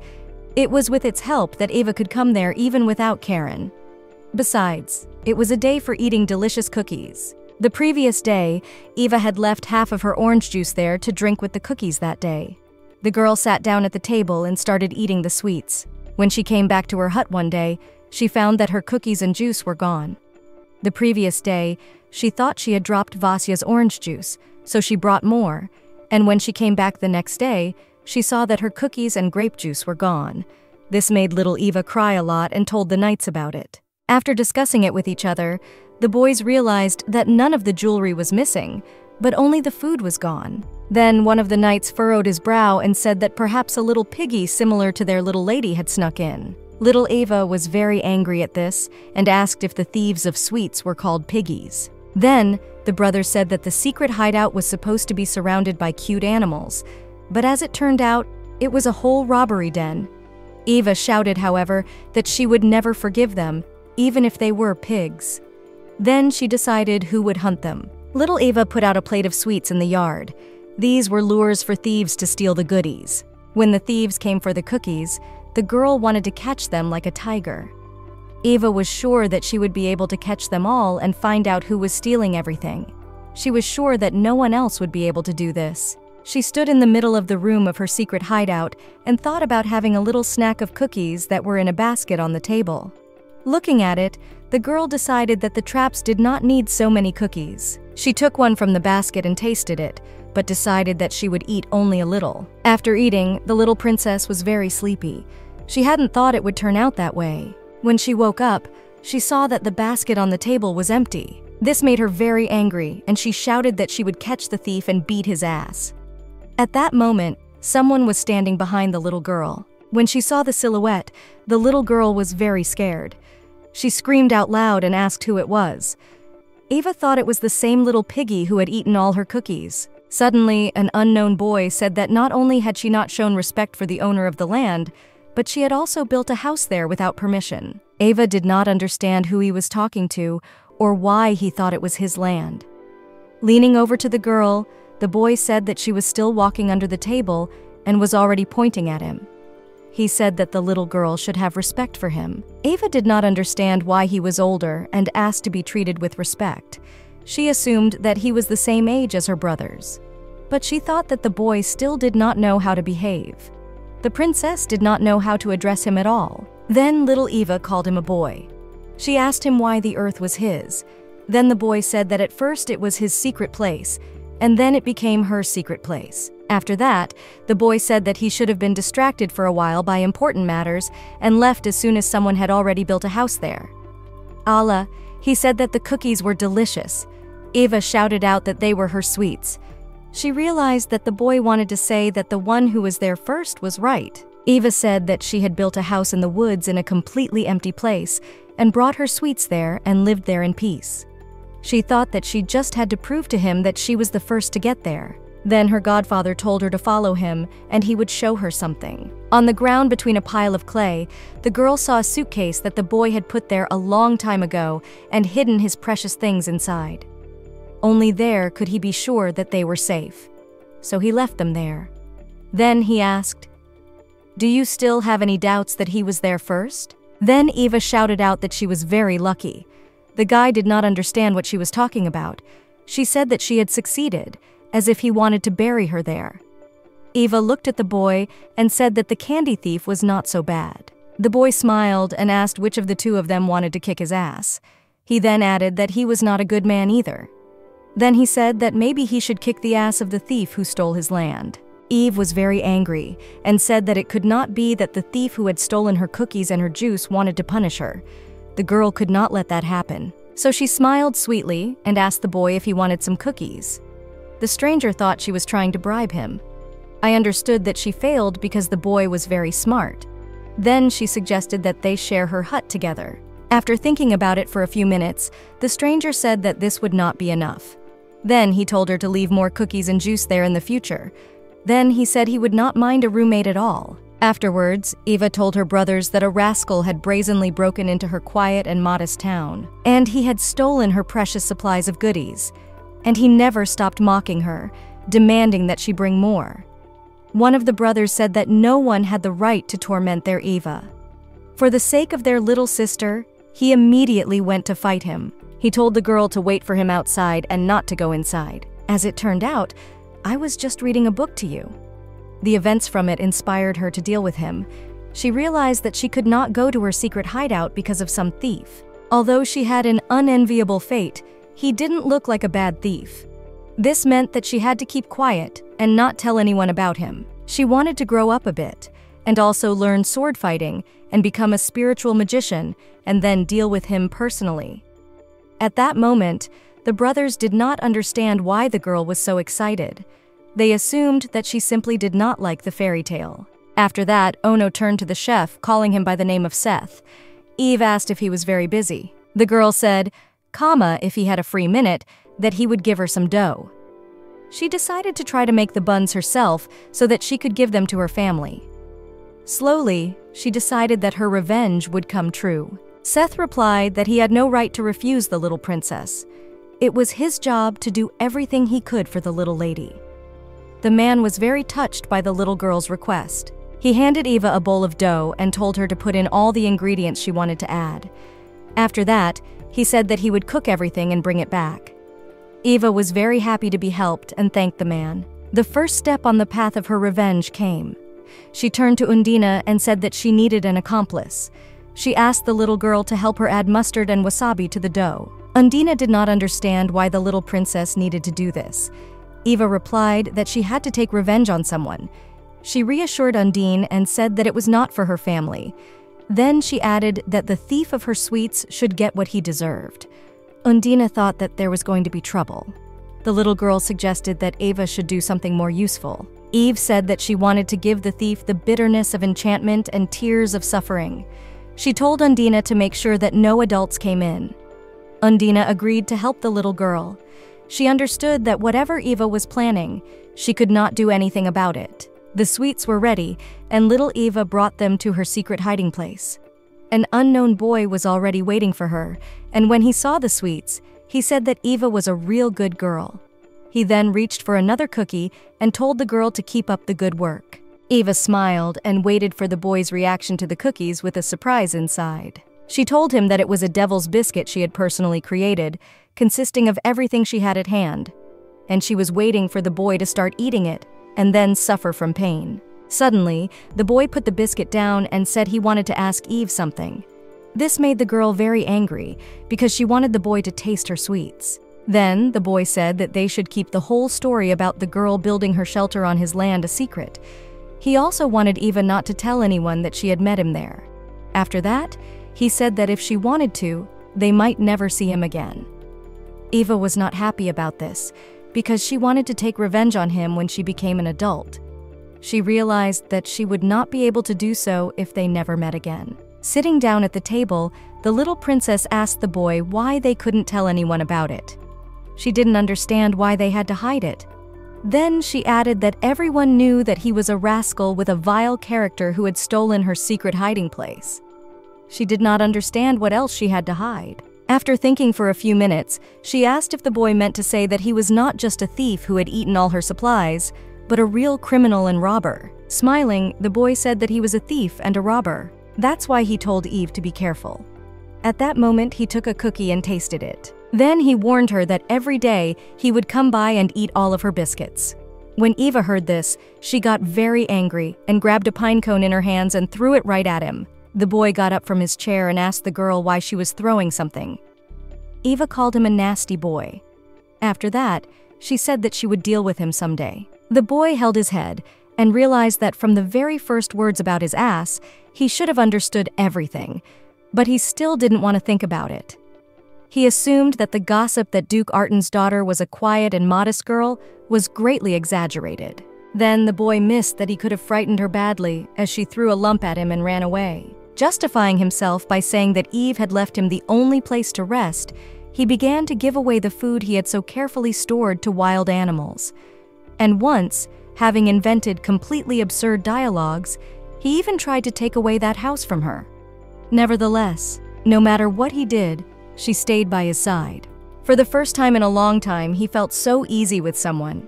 He could finally feel at ease. Four years ago, after his mother's death, he had to live with danger every second of the day. And then, he was not the crown prince of an empire, but an ordinary, unimportant child. Squeezing the cone in his palm, the boy mentally apologized to little Eva for going overboard. Of course, he said that they might never meet again, but he would be very happy to play together again. When the boy tried to eat the bun again, he realized that it was very spicy. This made him angry, and he decided to take revenge on the thief of his land. Meanwhile, the girl was very angry. As it turned out, the reason why the thief ate the bun and remained unharmed was that she had simply confused them. The brothers did not understand why little Eva had prepared such buns for them. When the princess looked through the doorway, she realized that something was wrong. After she hit the thief with a pine cone and suddenly ran away to her house, she immediately had a lot of things to do.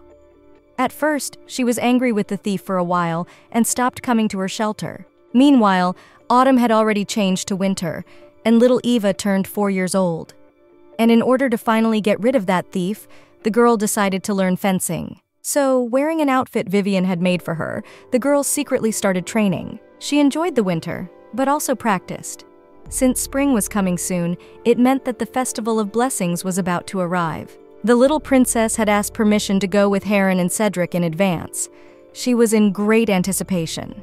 After all, the knights and her family would finally witness her skills. The knights laughed at the princess and said that it was the first time they had ever seen someone from Arten's family do something so bad. Eva was sure that she would succeed until the knights laughed at her. So Eva made a firm decision. She wanted to become recognized as the best fencer and, together with Alex, finally punish that thief. However, she could not even imagine that everything would turn out differently.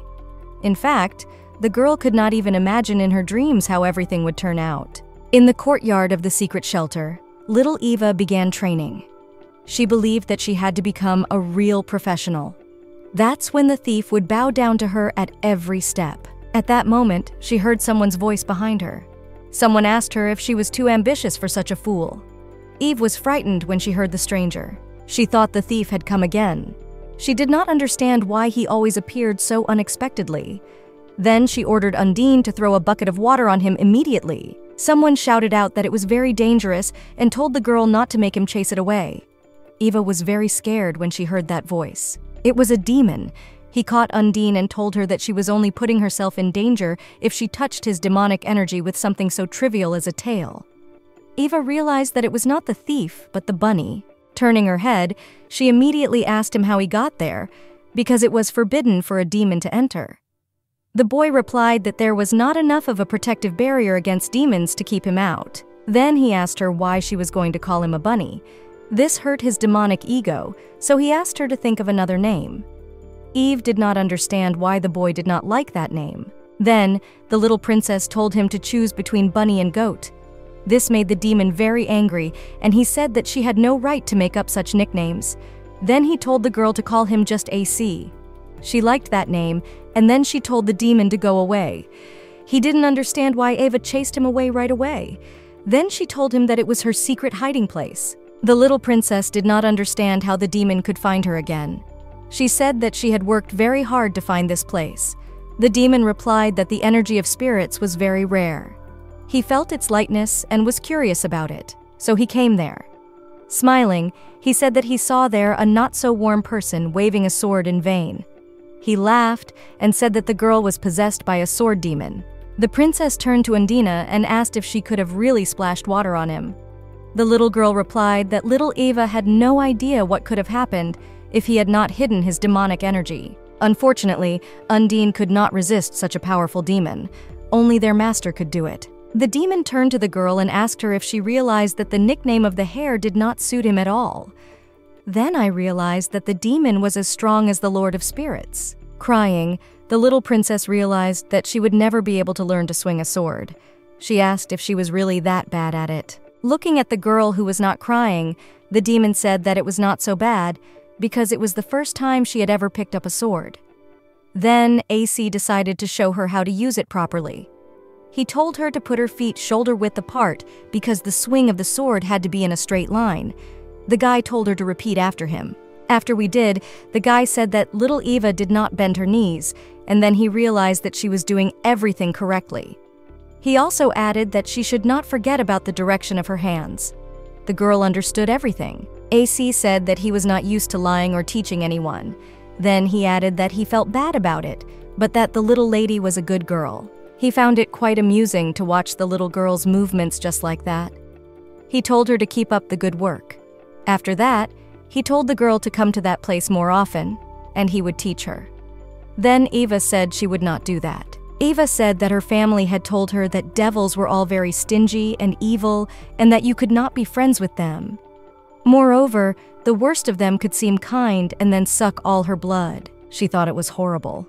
He also agreed with her but he was a real devil. Therefore, the main character could not let him wrap her around his finger and suck all her blood and become a blood thief. The girl immediately shouted out, however, that it was completely tasteless, and he realized that Eva treated him like some kind of worthless devil. Then he decided to play with her a little. At that moment, he began to transform and called her lazy. He said that only then did the girl realize what was going on. This made Eva very scared. He was getting closer and closer to her and said that someone was smelling a very sweet aroma. At that moment, the demon heard someone's voice behind Eva. Someone shouted at him to get away from the girl. It was the thief of the sweets. He said that it would not be good if someone caught the earthly thief. At that moment, the demon caught Eve by her clothes. He said that the young man had been shamelessly standing there watching them, and then he started to be rude to him. Then he added that young people were not taught to respect others at all. Frowning, the boy said that there was hardly a single person in that country to whom he should bow his head. Then the demon said that he was not a man at all. The boy asked what he was anyway. Meanwhile, the little princess thought that she not only had to run away from the blood thief, but also from the thief of goodies, especially since they had started some kind of dialogue with each other. The girl thought that they could unite and attack her together. She thought that she should strike first. The girl interrupted the conversation and asked the thief if they had ever been to a blessing festival. She said she had never been there before, so she asked their mother to tell them how the festival was because she was very curious.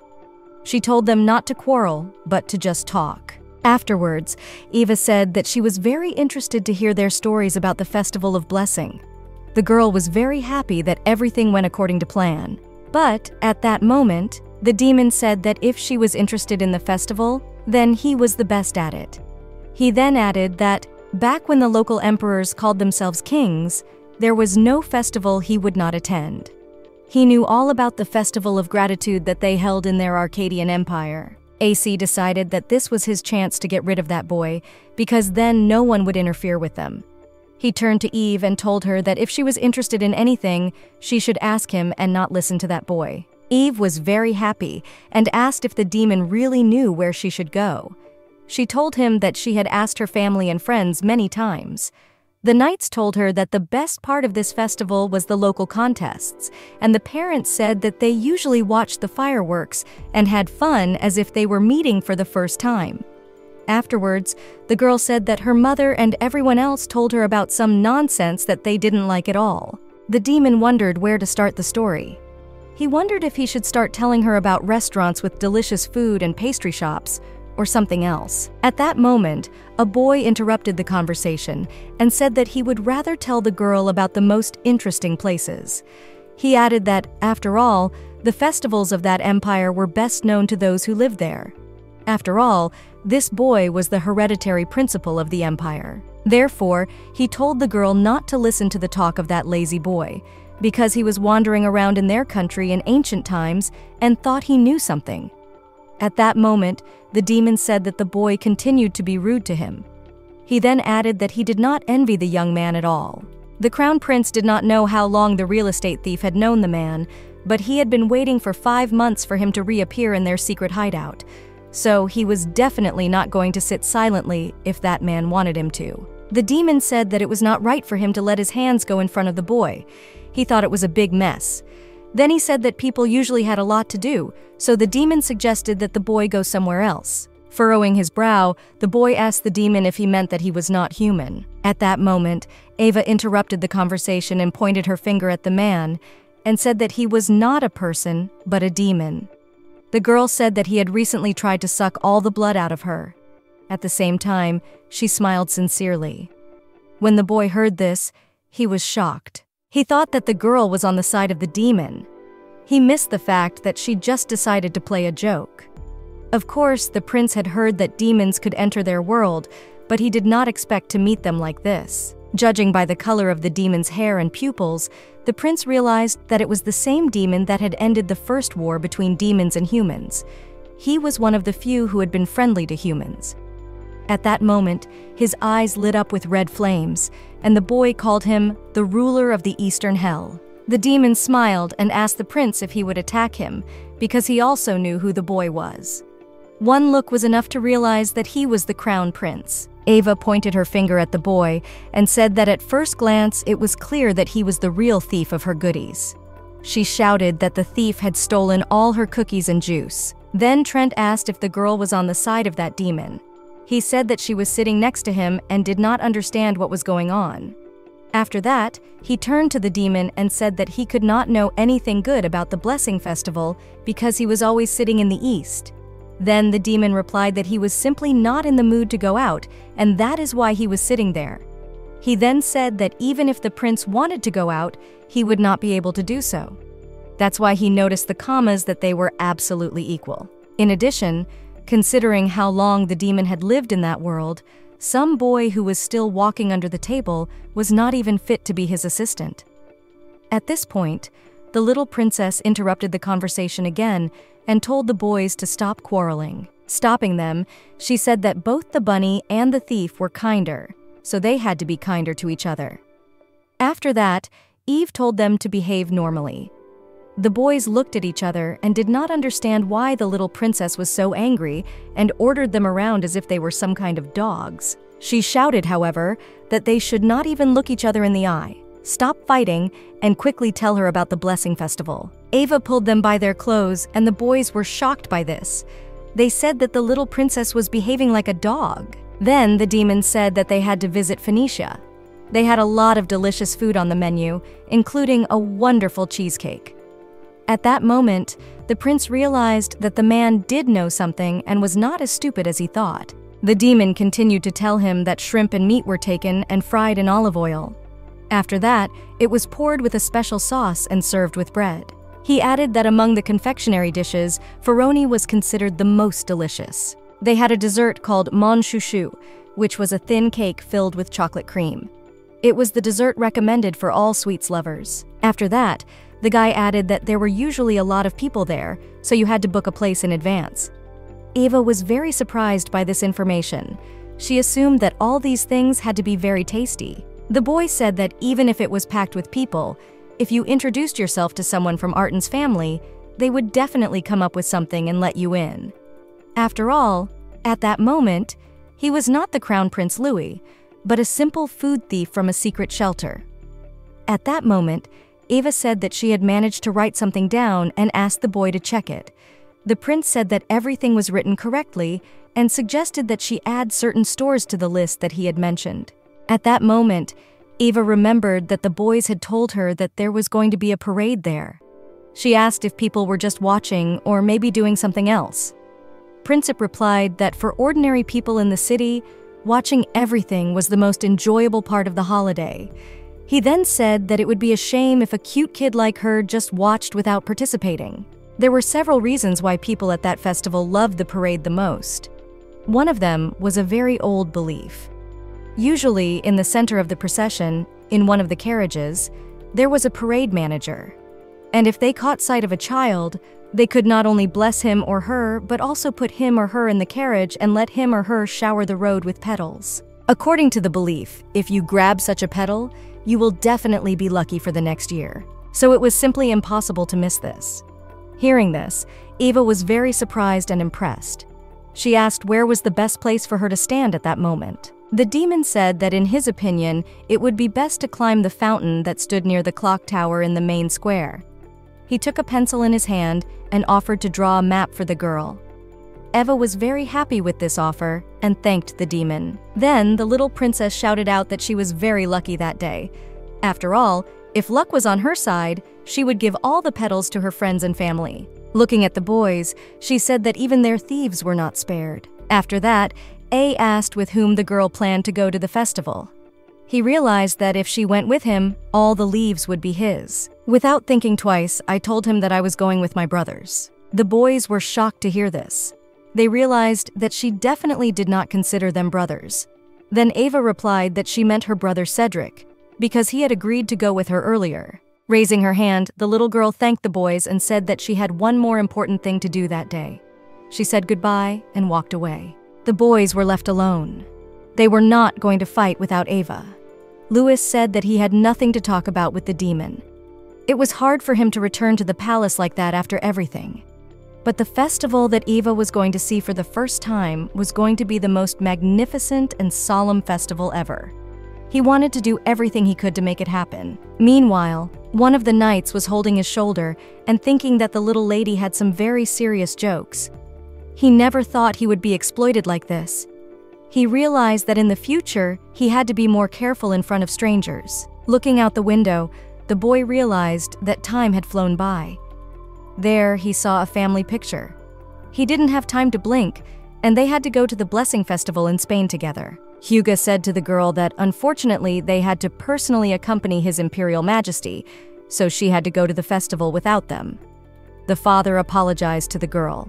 Turning to Karen and Cedric, he said that they should definitely have a great time, and the main instruction was that they should not lose each other. The Duke asked Eva what she should do if someone asked her to go out with him. The little princess replied that her father would come and find him soon. And if he suddenly dragged her somewhere by force or cast an evil spell, the girl had to call for Nina and hit him with a strong stream on his legs and then run away. After that, her father asked who was responsible for her. Eva answered that it was Arkan's family, and no matter what happened, she would always stand up for her. When Eva approached the festival itself, she was fascinated by everything she saw. Everything smelled delicious. There were a lot of different people and different sights. At that moment, a knight said that a little lady's purse was open. He offered to close it. Eva obeyed him and closed her purse. Cedric said that the girl should give him her hand, but little Eva did not listen to what she was told and was completely focused on the festival. When she saw the sign for Fenici, she suggested that Cedric go there. It was the same pastry shop that the thief had recommended. Together, they decided to go there. When the knight saw the line, he assumed that they would have to stand in it for a long time. Eva thought that when people found out who she was, they would let her through without waiting in line. Then she asked where Karen was going because the line started on the other side. Hearing this from the little princess, the boy bowed his head and apologized to her. He knew that their little lady was very kind, but he could not even think that her thoughts were so pure. Ava was very pleased and said that it was wonderful that the festival was open to everyone. Once inside, the girl noticed that both in Fenice and Verona, the food was just plain, plain good. She asked Cedric about it, and he agreed with her. The guy was surprised who only that young body could swallow the food. After that, we went further together. Suddenly, Eva saw some unknown scary faces in the crowd. She quickly ran to Cedric and said that she was very scared. The girl explained that there were non humans there and she was very afraid of them. At such moments, everyone realized that she was just a child. Cedric calmed his little sister down and told her mother that they were coma people who just put on masks and there was nothing to be afraid of. Karen replied that the girl could trust him. He suggested that perhaps they were supposed to be acting out a skit. The boy suggested that they go and ask what it was supposed to be about. After that, they went to watch the performance. When they returned, they realized that Eva was missing. When they looked up, they saw that the little girl was standing next to a vendor. Cedric asked her what she was doing there alone and said that the girl had scared them very much. Eva apologized to them for what she had done. She said that she would not do it again, but she wanted to buy some fruit in return. Say. Somewhere was shocked that his little sister was hungry again. He said it was certainly not a problem and asked if she had any pocket money left. He was talking about the coma money her mother had put in her purse. At this point, the little princess was embarrassed and said that she had no money left. The kindergarten teacher did not understand where the girl had managed to spend so much money. Eva replied that she had shared it with her friends. When the boy heard this, he praised her. That day, Eva opened up from different angles, but her brother was worried that she might make enemies because of her friendliness. Then he decided that he would have to ask his mother to talk to the little princess. At that moment, Eva said that she was thirsty and decided to call Undine. But Cedric objected and said that once again, there was no need to show the spirits to outsiders. Cedric thought that the little girl probably didn't even realize that an ordinary person could live for a whole week on that kind of money. At that moment, Karen said he decided to go buy the little lady a little water he didn't tell Cedric to stay with her in that place. Meanwhile, his brother decided to buy a barbecue. The boy told little Eva to stay close to him, and they waited for Karen. The girl nodded her head in response. Turning her head back, she heard some strange noises and decided to see what was going on. When she got closer, she saw an unidentified man and an unidentified girl who were having a big fight. The girl was saying that someone had just caught her eye and she wanted to say hello. She shouted, however, that there was no need to interfere with her so unceremoniously. She called the man's name, Ifrit, and cursed him. The man shouted back that she herself was already several thousand years old, and yet she was as stubborn as a sheep. He then asked her how long she would fool around with him. This was Ifrit, the lord of the fire spirits. A young girl named Persia was the ruler of the spirits of the air. The man shouted that everyone knew perfectly well that she wanted to leave a seal on the child of the Eliyahu. This made her very angry, and she asked if only the Eliim could do this, because she also wanted to mark her slightly. Ifrit said that even if the energy of the spirits had become stronger, the woman could only become like a mouse. The girl shouted out that she remembered everything and didn't need to repeat it all the time. She told someone that there shouldn't have been any problems with it. Eva saw this argument between a man and a woman. She shouted to Undine to look at what the man was doing on the holiday when everyone was rejoicing. She pointed her finger and said that he should not have left the lady in trouble. When the woman saw the little girl, she thought she was very cute. She recognized her immediately. She would have taken her and taken her to her forever. When the man saw Eva, he did not expect the child to come there. He thought that he could not let her meet Persa so easily. Then he turned to the girl and said that there was nothing interesting for her. At that moment, the woman raised her hand up and exclaimed that the little princess had eyes herself, so she understood everything. Eva stood and watched everything that was happening. At that moment, it seemed to her that the lady who raised one hand and blew the villain away looked very much like a demoness. The woman approached the little princess and told her to call her sister. At the same time, she smiled broadly. Seeing her smile, Eva could not believe that the unknown woman could be a bad person. The girl asked her if her sister was hurt anywhere. She replied that she was fine thanks to the brave little knight. She thanked Eva for that. The man came closer and said that he thought he had almost died. He turned to the woman and called her a witch and asked if it was too much for him. After that, the woman turned to Eva and said that she and her husband had been friends, but had just had a little quarrel. With a furrowed brow, she said it was true. Then the sister added that he just seemed very bullying. Besides, his caftan looked like a demon, but he was actually normal. I heard that the man was very surprised. Then Eva said that she understood everything and decided to leave. She assumed that her brother Cedric was probably already searching for her. She then added that she thought her friend was not feeling well. When the girl showed up there, they immediately made it clear to the girl's lower spirit that she should keep her mouth shut. If it came out who the man and woman really were, there would be a scandal.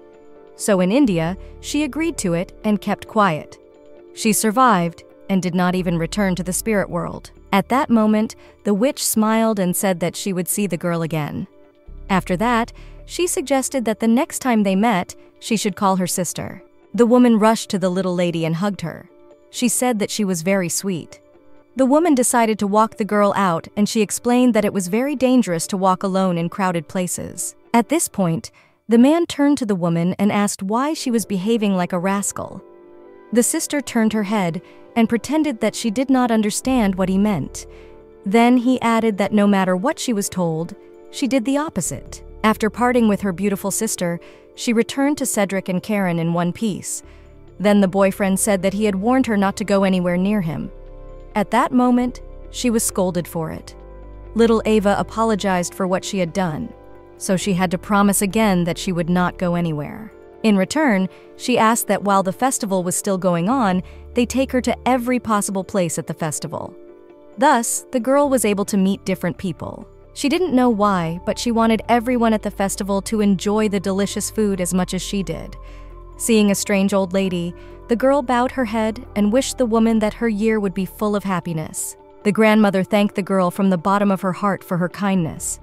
The grandmother replied that she had very little time left, and as a thank you to Ava, she decided to give her one piece of advice. It was like a prophecy. Putting her hands on the glowing ball, she added a comma that this prophecy had been very famous for people in the past. The woman said that when the star with the developing hair appeared, three suns would open in the sky, and a large mastiff would howl loudly all night. At that moment, packs of black wolves and red monkeys will sweep across the land, and snakes will overrun the eastern coast. At that time, the sky will fall to the ground and shake. Then great waves will rise from the rivers Hesan and from the sea Tiber. At that moment, all the earth's dirt will burn in fire. In the end, the great master will grasp the sun with his teeth, and the star that will rise from the sacred Tian Shan mountains will finally be crowned. Then the grandmother asked if Eva had been listening carefully. Eva smiled and said that she was listening carefully, but that she did not understand anything of what her grandmother was saying. The girl thanked her for that and said goodbye. Cedric thought about how the meaning of the prophecy was completely unclear to him, that even if it did not bring anything good to Eve, nothing bad had happened. Even if it was a curse, they would always be there to protect her. Ava smiled and said to Cedric that in the future she would eat the whole sun. After a little thought, the boy took his little sister's hand and said in his mind that everything would be as she wanted it to be. So, at that time, they wanted to make sure that Eve would remember that festival as one of the happiest days of her life. At that moment, they approached the crowd of people, and Eva looked up and saw the parade. The little girl looked up in fascination and realized that it was time for fun. Cedric had heard before that people from all over the country came to the festival to get the coveted leaf of blessing, but he could not even imagine that there would be so many of them. At that moment, the boy was glad that he was familiar with that place. Eva shouted out that they would need a lot of leaves. Cedric realized that thanks to his mercantile younger sister, Heron would have a hard time. The boy picked her up, and Eva shouted that a hundred pieces should be enough. Karen was a loyal knight of the guard. He had to use his skills to snatch the basket of flowers. That was their plan. His special skill was to skillfully conceal himself by striking from the shadows. Cedric suggested that they should also put their efforts into this. The knight thanked him for that. Most of all, the boy wanted Eva to have an unforgettable experience during the festival and become that blessed child. and to the loud applause of all the insects who were there, she was able to hand out petals to everyone. However, he thought that even though his sister was a model of kindness among all those present, it was very difficult for the priest to choose her. However, when he saw the fervor with which the little girl prayed, he could not help but make that little lady his blessed child. He chose Eve from all those present and told her to come up to him as soon as possible. When Eve came up to the priest, she realized that all the leaves had to be scattered. She had only wanted to collect a lot of leaves, but it turned out that she had to work scattering the leaves. Eva shouted out that she would not do it. The girl assumed that it was all because of Cedric. She thought that he had said he would help her get a hundred leaves, and he quickly took her there and went to sit on a bench. At that moment, the priest came up to little Eva and addressed her by name. He told her that before he started scattering the petals to everyone who had gathered there, she had to take off her hood for a while and share her wishes with everyone. Eve asked if she could voice any of her wishes. The priest answered that by pressing the button on the microphone, she could say whatever she wanted, and then she would be heard. She just had to enjoy what was happening. Eva asked if, after she had scattered all the petals, she could take the whole basket with the leaves. She then added that she had come there that day to collect many petals and give them to all her close friends and family. Everyone was shocked by what they heard. At that moment, no one could say a word.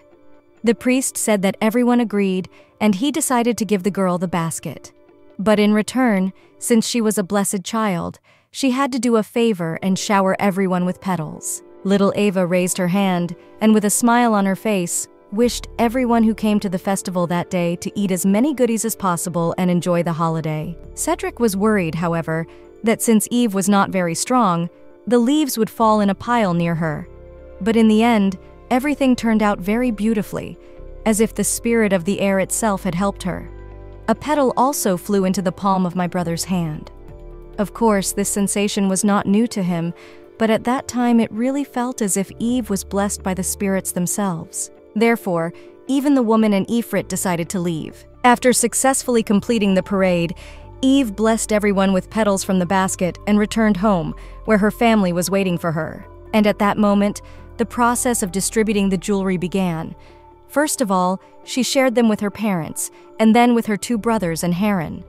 The girl did not forget about Undina or her other spirit friends, and even all the close family members got a piece of the jolly night. In general, no one was left out. Of course, there were still friends who hadn't been able to get the desired leaves, but she decided to make up for it next time. Ava went to her room and quickly fell asleep after an interesting evening. Meanwhile, all the knights were gathered. One of them said that the time had come, that from that day on, their humble audition was over. From that moment on, they, the knights, ceased to consider Hugo von Arkan as their target. They replaced her with the defenseless Avelia von Arkan and brought their operation to life. Everyone agreed with him. After the festival, little Eva had a lot of things to do. Moreover, these things were done as soon as she woke up in the morning. The girl gave all the leaves to her friends. Everyone had a very strange reaction and asked her if the wish would definitely come true. Eva answered that she had personally blessed those petals. Everyone gladly accepted her gift and was very happy. Therefore, it seemed to the girl that there would never be a more joyful event. But her family decided that in order to keep her leaves by heart, it was best to seal them in precious stones. Everyone was very happy about this decision, especially the knights. After all, they used to decorate their swords with them. The petals looked like shiny dragon skin. Because of this, there were even rumors that their knights had defeated a real dragon. However, the knights were certainly very strange people compared to the girl. She felt as if Al had suddenly gone mad. It was very scary for her. He jumped out right in front of her and asked her to save them. The other knight said that he scared their little lady. If this continued, the lady would not take their side at all and would send them farther north. Then Eva realized that the knight needed her help. That is why the little princess went to her father and told him that the knights did not want to go north. After sharing this with him, Eve realized that something had to be done to make sure that the knights were not sent anywhere. In any case, after that moment, every day was filled with happiness and joy. Meanwhile, little Eva grew up rapidly and enjoyed her life. It seemed to her as if the carefree childhood without repeated abuse was a thing of the past.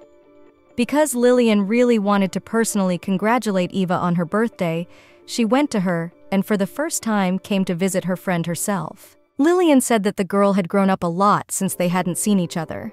Eva smiled and said that she had become so big a long time ago. At that moment, Cedric smiled and asked her if she had forgotten how she had run to him to sleep the previous night, because she was very scared. At that moment, Alicia thanked Mrs. Cassis for the invitation.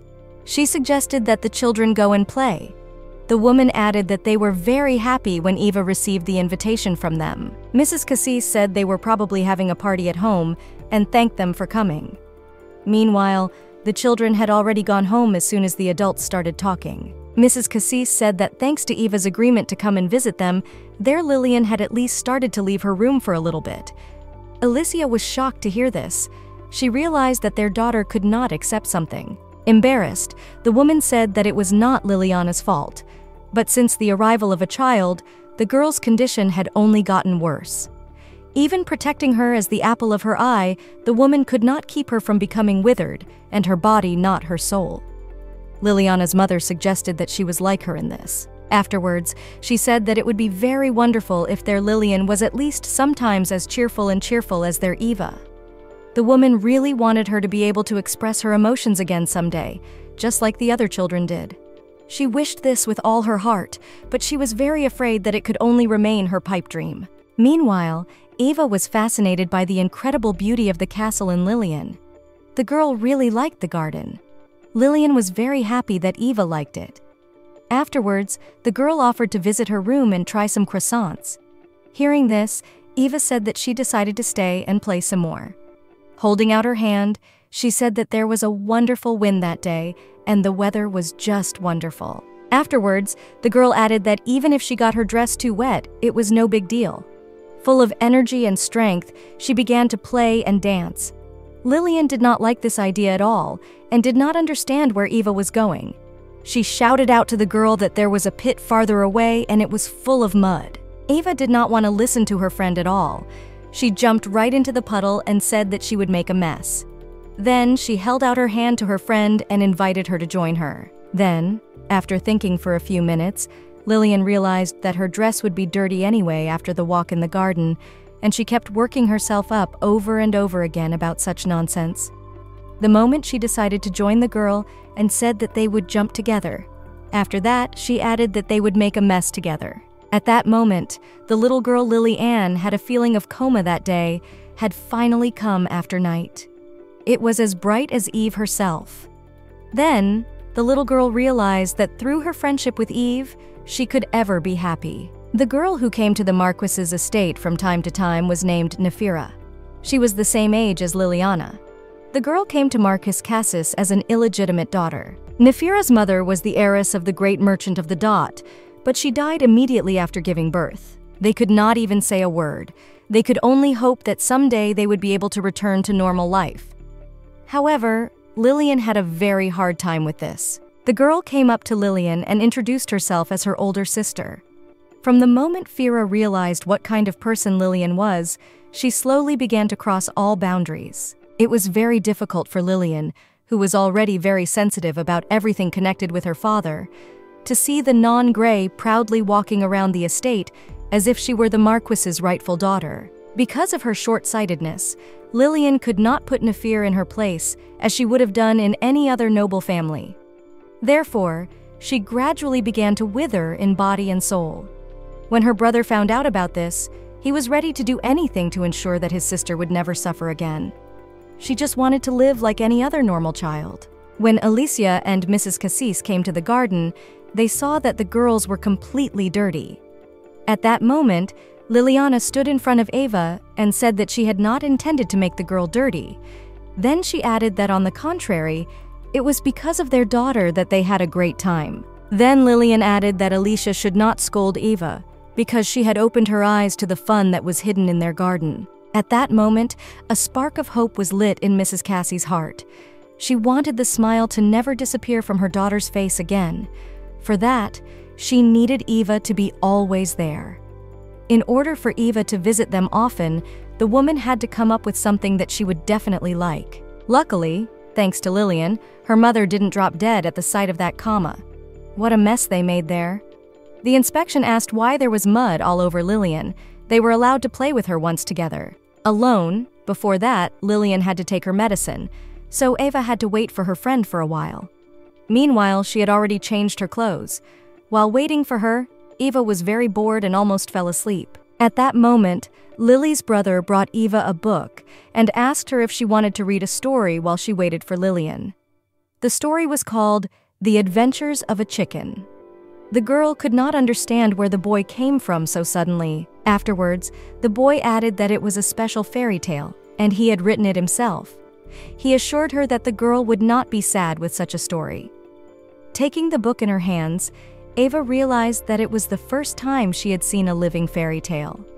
She became very curious. A long time ago, a young chicken wanted to sleep sweetly and went on an exciting journey in search of a safe nest. This was the beginning of the book. The boy told Ava to read the story and not to be shy. After all, he also came to visit Lillian.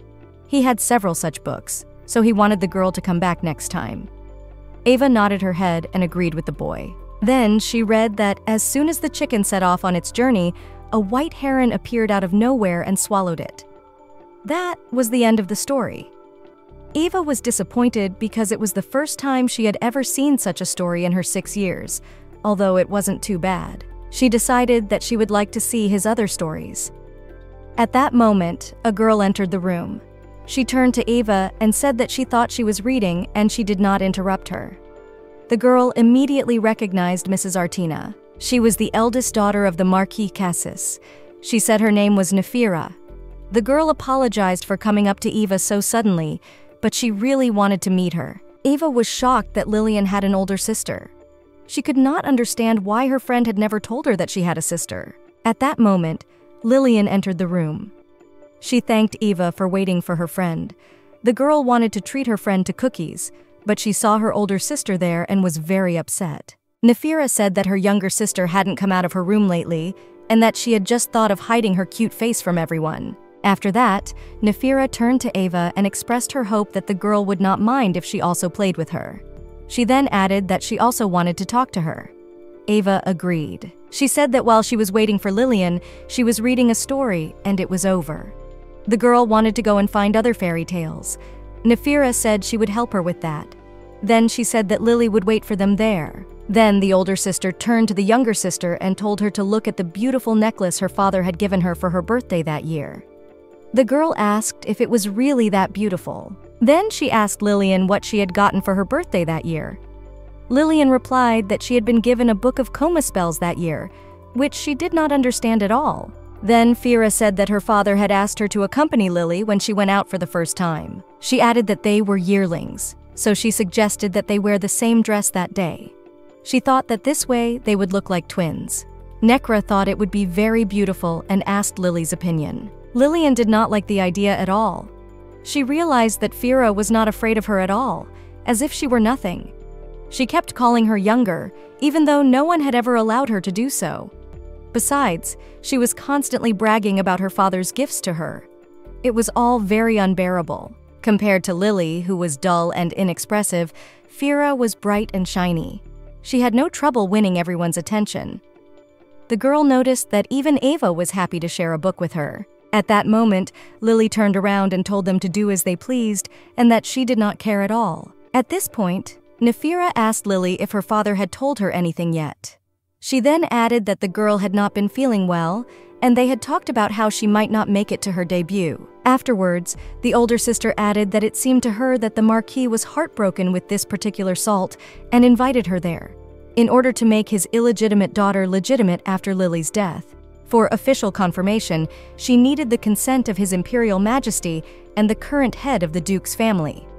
She caught her sister's hand and said that there was nothing complicated about it. Afterwards, she seemed to apologize to Lilia Zate for telling her so directly. But since they had the same father, it was necessary to clearly explain who was illegitimate and who was legitimate. It was not Fira who said that she thought it sounded very gloomy coming from her. Then she smiled and said that her mother was far from being a landowner, for she was only the heiress of a merchant. Nevertheless, She believed that she would be the first legitimate daughter in their family.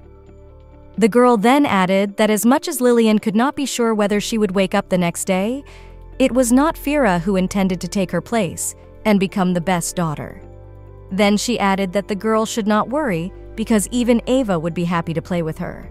Addressing her sister by name, she said that she understood everything.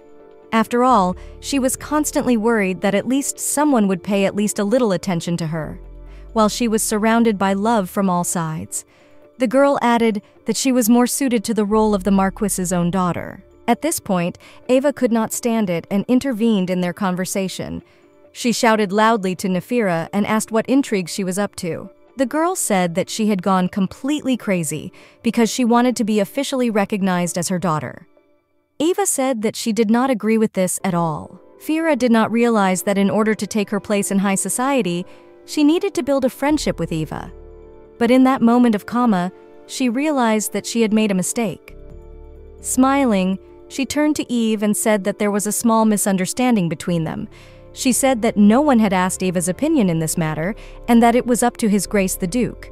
Everything depended only on His Imperial Majesty and the Duke. She believed that even without Eva's help, she would be able to figure it out on her own. But Eva shouted out that her father had always said that she was the one who blessed the path of the Arton family. She then added that if she didn't believe it, she could have gone and checked for herself but the little princess did not allow her friend Lillian to insult her. At this point, she caught Lillian's hand and asked her if she liked that Eva took her side. She shouted that no one could ever love a girl who did nothing but take care of her suffering. She was very angry and said that after Lillian's death, no one but Eve would miss her. At that moment, Eve pounced on Nefira and caught her by the hair. The little princess shouted that they would see who would die, and she could already prepare her funeral speech. Eve began to beat Nefira and shouted at her to leave her best friend alone. Then she added that Lillian Cassis was the brightest and coolest person in the world. Ava continued to pull Nefira's hair and said that if the girl said anything else bad about her friend, she would not hold a single hair on her head. On the same day, a small scandal occurred in the Marquise's house. Fortunately, it was quickly hushed up thanks to the Duchess's appearance. Alone, having put the airwaves in their place and returned home, Ava nevertheless did not have a very smooth rest of the day. When she met up with her friends, she explained that there was a girl in the house who had been very bad to Lily, and she decided to pull out her hair, and then called Silpha and gave her a good lesson.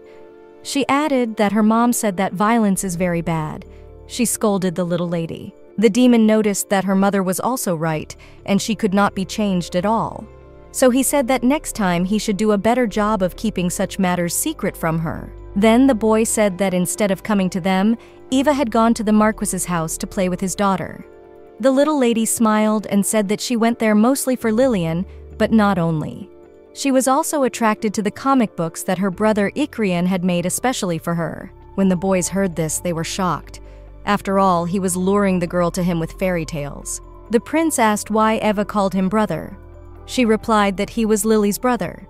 The prince added that he had just heard her call the Marquis's eldest son brother, Ikrian. Demolition agreed with the prince and asked why the girl had called that boy brother. Eva shouted out that he was just Lily's brother. She thought the boy was very smart and good natured. He was the youngest wizard in the school, a rising star. He would never have thought of stealing goodies out of the blue. Eva was sure that in a few years he would be as good as his father. The boys listened to the little lady's story in amazement. Turning to the prince, she said that he had stolen all her chocolates. The demon smiled and said that at least sometimes he was called an ace besides the rabbit, but the prince would always be a thief of sweets. He began to laugh and said that even the servant was treated more kindly. The boy said that he would rather be associated with a cute animal. Eva shouted that she was just joking. At that moment, the boy said that he had to go. The little girl said they would definitely see it later. As he was leaving the room, the boy turned and said that he didn't even know why she hadn't asked him about it until then. He then added that from now on, the girl could call him Louis. Following him, Eva shouted out that how could a coma robber like him think of being so careless with his name? The girl noticed that even the rabbit heard him. She added that that was why she didn't ask him, even though she was very curious about his name. Hearing this, the boy laughed. He could not think that the girl still believed all the nonsense she was told. At that moment, he left the house. I would turn to the demon and tell him not to tell anyone about Louis, because she didn't want anyone to catch him. He smiled and said that there were many insects who would want to catch the crown prince of the empire. After that, the rabbit asked if the girl could summon Sylph. Handing over the book, the demon told her to read my story several times. Eva agreed. At that moment, he decided to test something. Eva began to read the book the demon was offering her. At that moment, something strange began to happen around them. The boy saw that the spirits below appeared the moment she called them. The little princess did not realize that she had done it. The demon smiled and said that she was definitely not talented in swordsmanship, but she was surely good at magic. He realized, and it was obvious, that someone was helping her. Then he told her to read it again. The girl realized that an ordinary person could not even dream of such a thing, and the demon was very persistent. She immediately began to read everything that was written there. It was the power of spirits. Eva could not believe her eyes. She called not only the middle water spirit Undina, but also the middle air spirit Silaf. The heroine was very happy that she had succeeded and realized that she had a natural talent. At such a young age, that girl already had such a powerful energy of spirits. The demon cursed that Lord of Spirits because no matter what problem arose, he did not fix it. The spirit and the air and the water meant something interesting. Then he decided that he needed to meet with the Lord once in order to never do it again. Eva was excited about the next day. Lately, the overly lazy fairy tale writer had finally taken up publishing again. Just looking at Louis's homework made his eyes bleed. Meanwhile, Ava went to see Lillian. Cedric warned the girl not to stay up late because they were supposed to have dinner with their parents that night. He warned her, however, that she could go without food for the rest of her life and would therefore be very small. Afterwards, one of the brothers said that he had to cook a set that day, so they warned her not to be late. The girl realized that it had been a long time since they had gathered as a family for one thing. She decided that she would quickly read the fairy tales and come right away. It seemed to the little lady that that day would actually be very fun. Waving her hand, she said the couple would be back. When she arrived, the girl immediately started reading the fairy tales.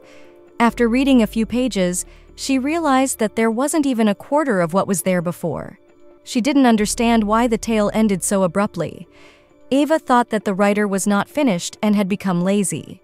Lillian smiled and said that if Ava was going to hit her brother, she should take a book to do it with so it would be more comfortable. Ava jumped up and said that she was going to quarrel with the writer immediately. At that moment, she turned her head to her friend and asked if she was okay, because she hadn't seen her in a few days.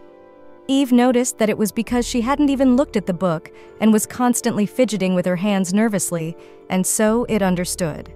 The little lady promised to sort it out and to tell her everything. Lily then asked her friend if she remembered the girl, Nefira. Eva immediately remembered who she was talking about. Lily noticed that it was her father's birthday next month, and every time he was delighted with her gift. That was what made Lily feel uncomfortable. This time, she decided to prepare a gift that would surpass anything that Nephi could give. So the girl thought about what to give her father. Eve smiled and suggested that they go together to buy him a gift, and she would help her choose the best one. Then she added that in order to choose a good gift, they had to go to the city and see what was available.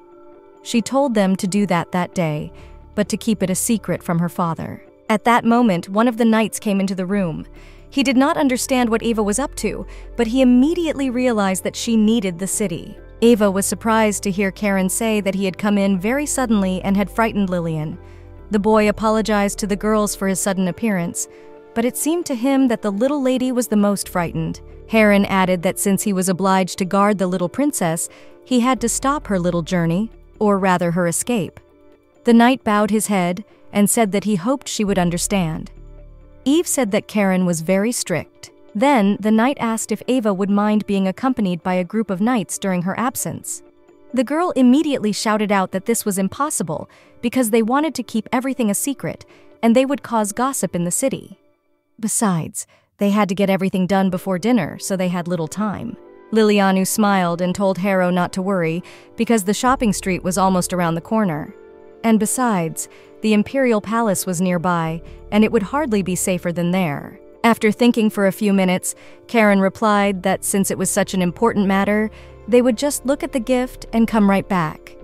He went with the girls to the city. The boy walked behind the girls and realized that it was the first time he had ever seen a lady just get out into the city like that. That is why he was very happy in his heart. But Karen could not understand why it was so dark in that alley. Suddenly, the girl stopped, and Eve turned to her friend. Karen said that the demon he had met in the war had suddenly appeared in that narrow alley. He shouted that the little lady should immediately take Lillian and return to the estate. Seeing everything, Eva immediately apologized to the boy. Meanwhile, the battle began. The demon was shouting to run with his tail between his legs. It was very Ardenovian.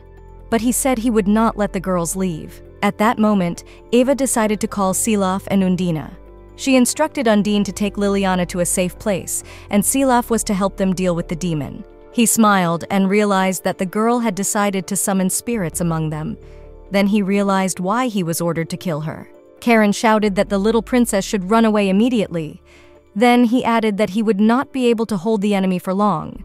He asked her to go away quickly, at that moment, Eve turned to Karen and said that it was impossible for Artina to leave her knights behind. She shouted for the boy to cover her, and she would cover him. She also said that if they had to fight someone like a rabbit with milk, that she and Karen would somehow manage. The demon started laughing out loud and said that it didn't matter if there was one or two of them. He added that they had no chance of being saved. He believed that some knight and a snotty sorceress would not be enough to deal with him, it would require a lord of spirits. Suddenly, blood began to pour out of Eve's mouth.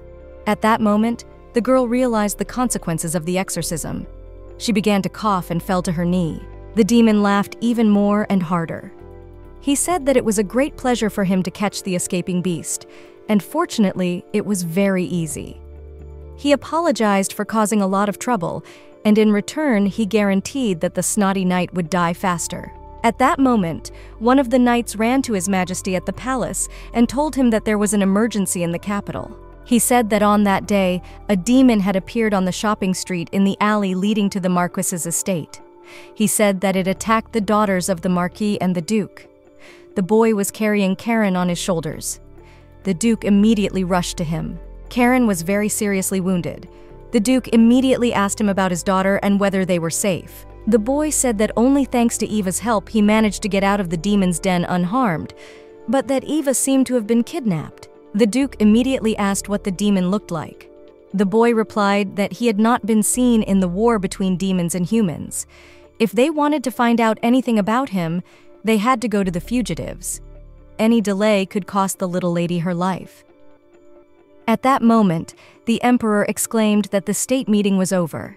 He did not say to send all the knights to the palace to search for the Hertog's daughter, but they themselves were to search for the fugitives. Everyone who was there had to make every effort to find Eva. Meanwhile, Eve could not have known that the consequences of exorcism were so severe. She didn't even have the strength to run away from that unknown demon. When she opened her eyes, she did not even know where to run. The girl realized that she should not lose consciousness under any circumstances. At that moment, the demon approached her holding a sword in his hand. He addressed her and told her that she had finally come to her senses. He then asked her if she had any idea how many nerves he had lost, wondering if she was alive or not. The demon said that he had brought her there to kill her personally. He would have been very offended if she had done it without him. At that moment, Eve barely looked at him. He came closer and told her not to waste herself on nonsense because it was time for her to die anyway. He looked at her and told her not to strain. The man added that by killing her, he would finally be able to pay off the contract. That was his plan for that day, so he wanted to hurry. Then she added that he would not escape death from his parents and brothers, and even his friends. So she told him not to exclude himself from doing anything stupid either. He smiled and said that he had done well to bring her to a place where he could enjoy the pain and suffering that would glare from her blue eyes before he took them out. He could not wait to see every broken bone of life leave her eyes. Raising the sword, he said that they must begin. Then he added that the beginning would be with them. Eve was thinking that Seth was going to cook for a three story house that day, and she wouldn't even be able to see him in the end. Suddenly, something strange began to happen. AC appeared there. He immediately took the little princess in his arms and apologized to her, saying that he was a little late. Little Eva immediately burst into tears and hugged the boy and said that she was very hurt and scared. She thanked him for coming to pick her up. He apologized and said it would never happen again. Stroking the girl's head, the boy told her to fall asleep sweetly. In the meantime, he would deal with that bastard Zate for what he had done. He decided to make him feel very sorry for what he had done, but there was no need to apologize. Besides, he wanted to take revenge for all the humiliation that the bastard had put him through. The demon asked if this was how demons greeted each other when they first met. He didn't understand how the guy had gotten there at all, because he had put a lot of effort into getting Eva there, and the guy had appeared out of nowhere and didn't let him finish the job. Ace smiled and said that the girl was very lucky to have a friend. Just so the demon knew, his specialty was to find whatever Eve wanted. However, even with such abilities, he would have known nothing about the girl's disappearance if Louis had not told him about it. The demon was saying that such a worthless bastard had somehow managed to cut off his hand. He said that those rumors had been around for many years, and he thought that the whole topic with the ruler was long in the past. He then added that while he was running to his east and waiting out the storm there, they were fighting a really bloody war in the center. And now, he believed, they were stronger than ever. The demon said that the boy was facing the 16th Zepar of all the 72 demons of the Lemegeton, and at that moment, the boy would personally see the difference between them. But suddenly, at that moment, with a single movement of his hand, AC was able to restrain the demon's hands. He did not understand where he got so much demonic energy. He thought it was impossible. As Ace held the little princess in his arms, he realized that a strong wind was starting to blow. The demon could not understand how he held it back. Even though he was a superior demon, he could not believe that he could control the elements outside of hell. Then, the demon said that he should be pitied and not tell anyone. If he was pitied, he would be devoted to the boy for the rest of his life.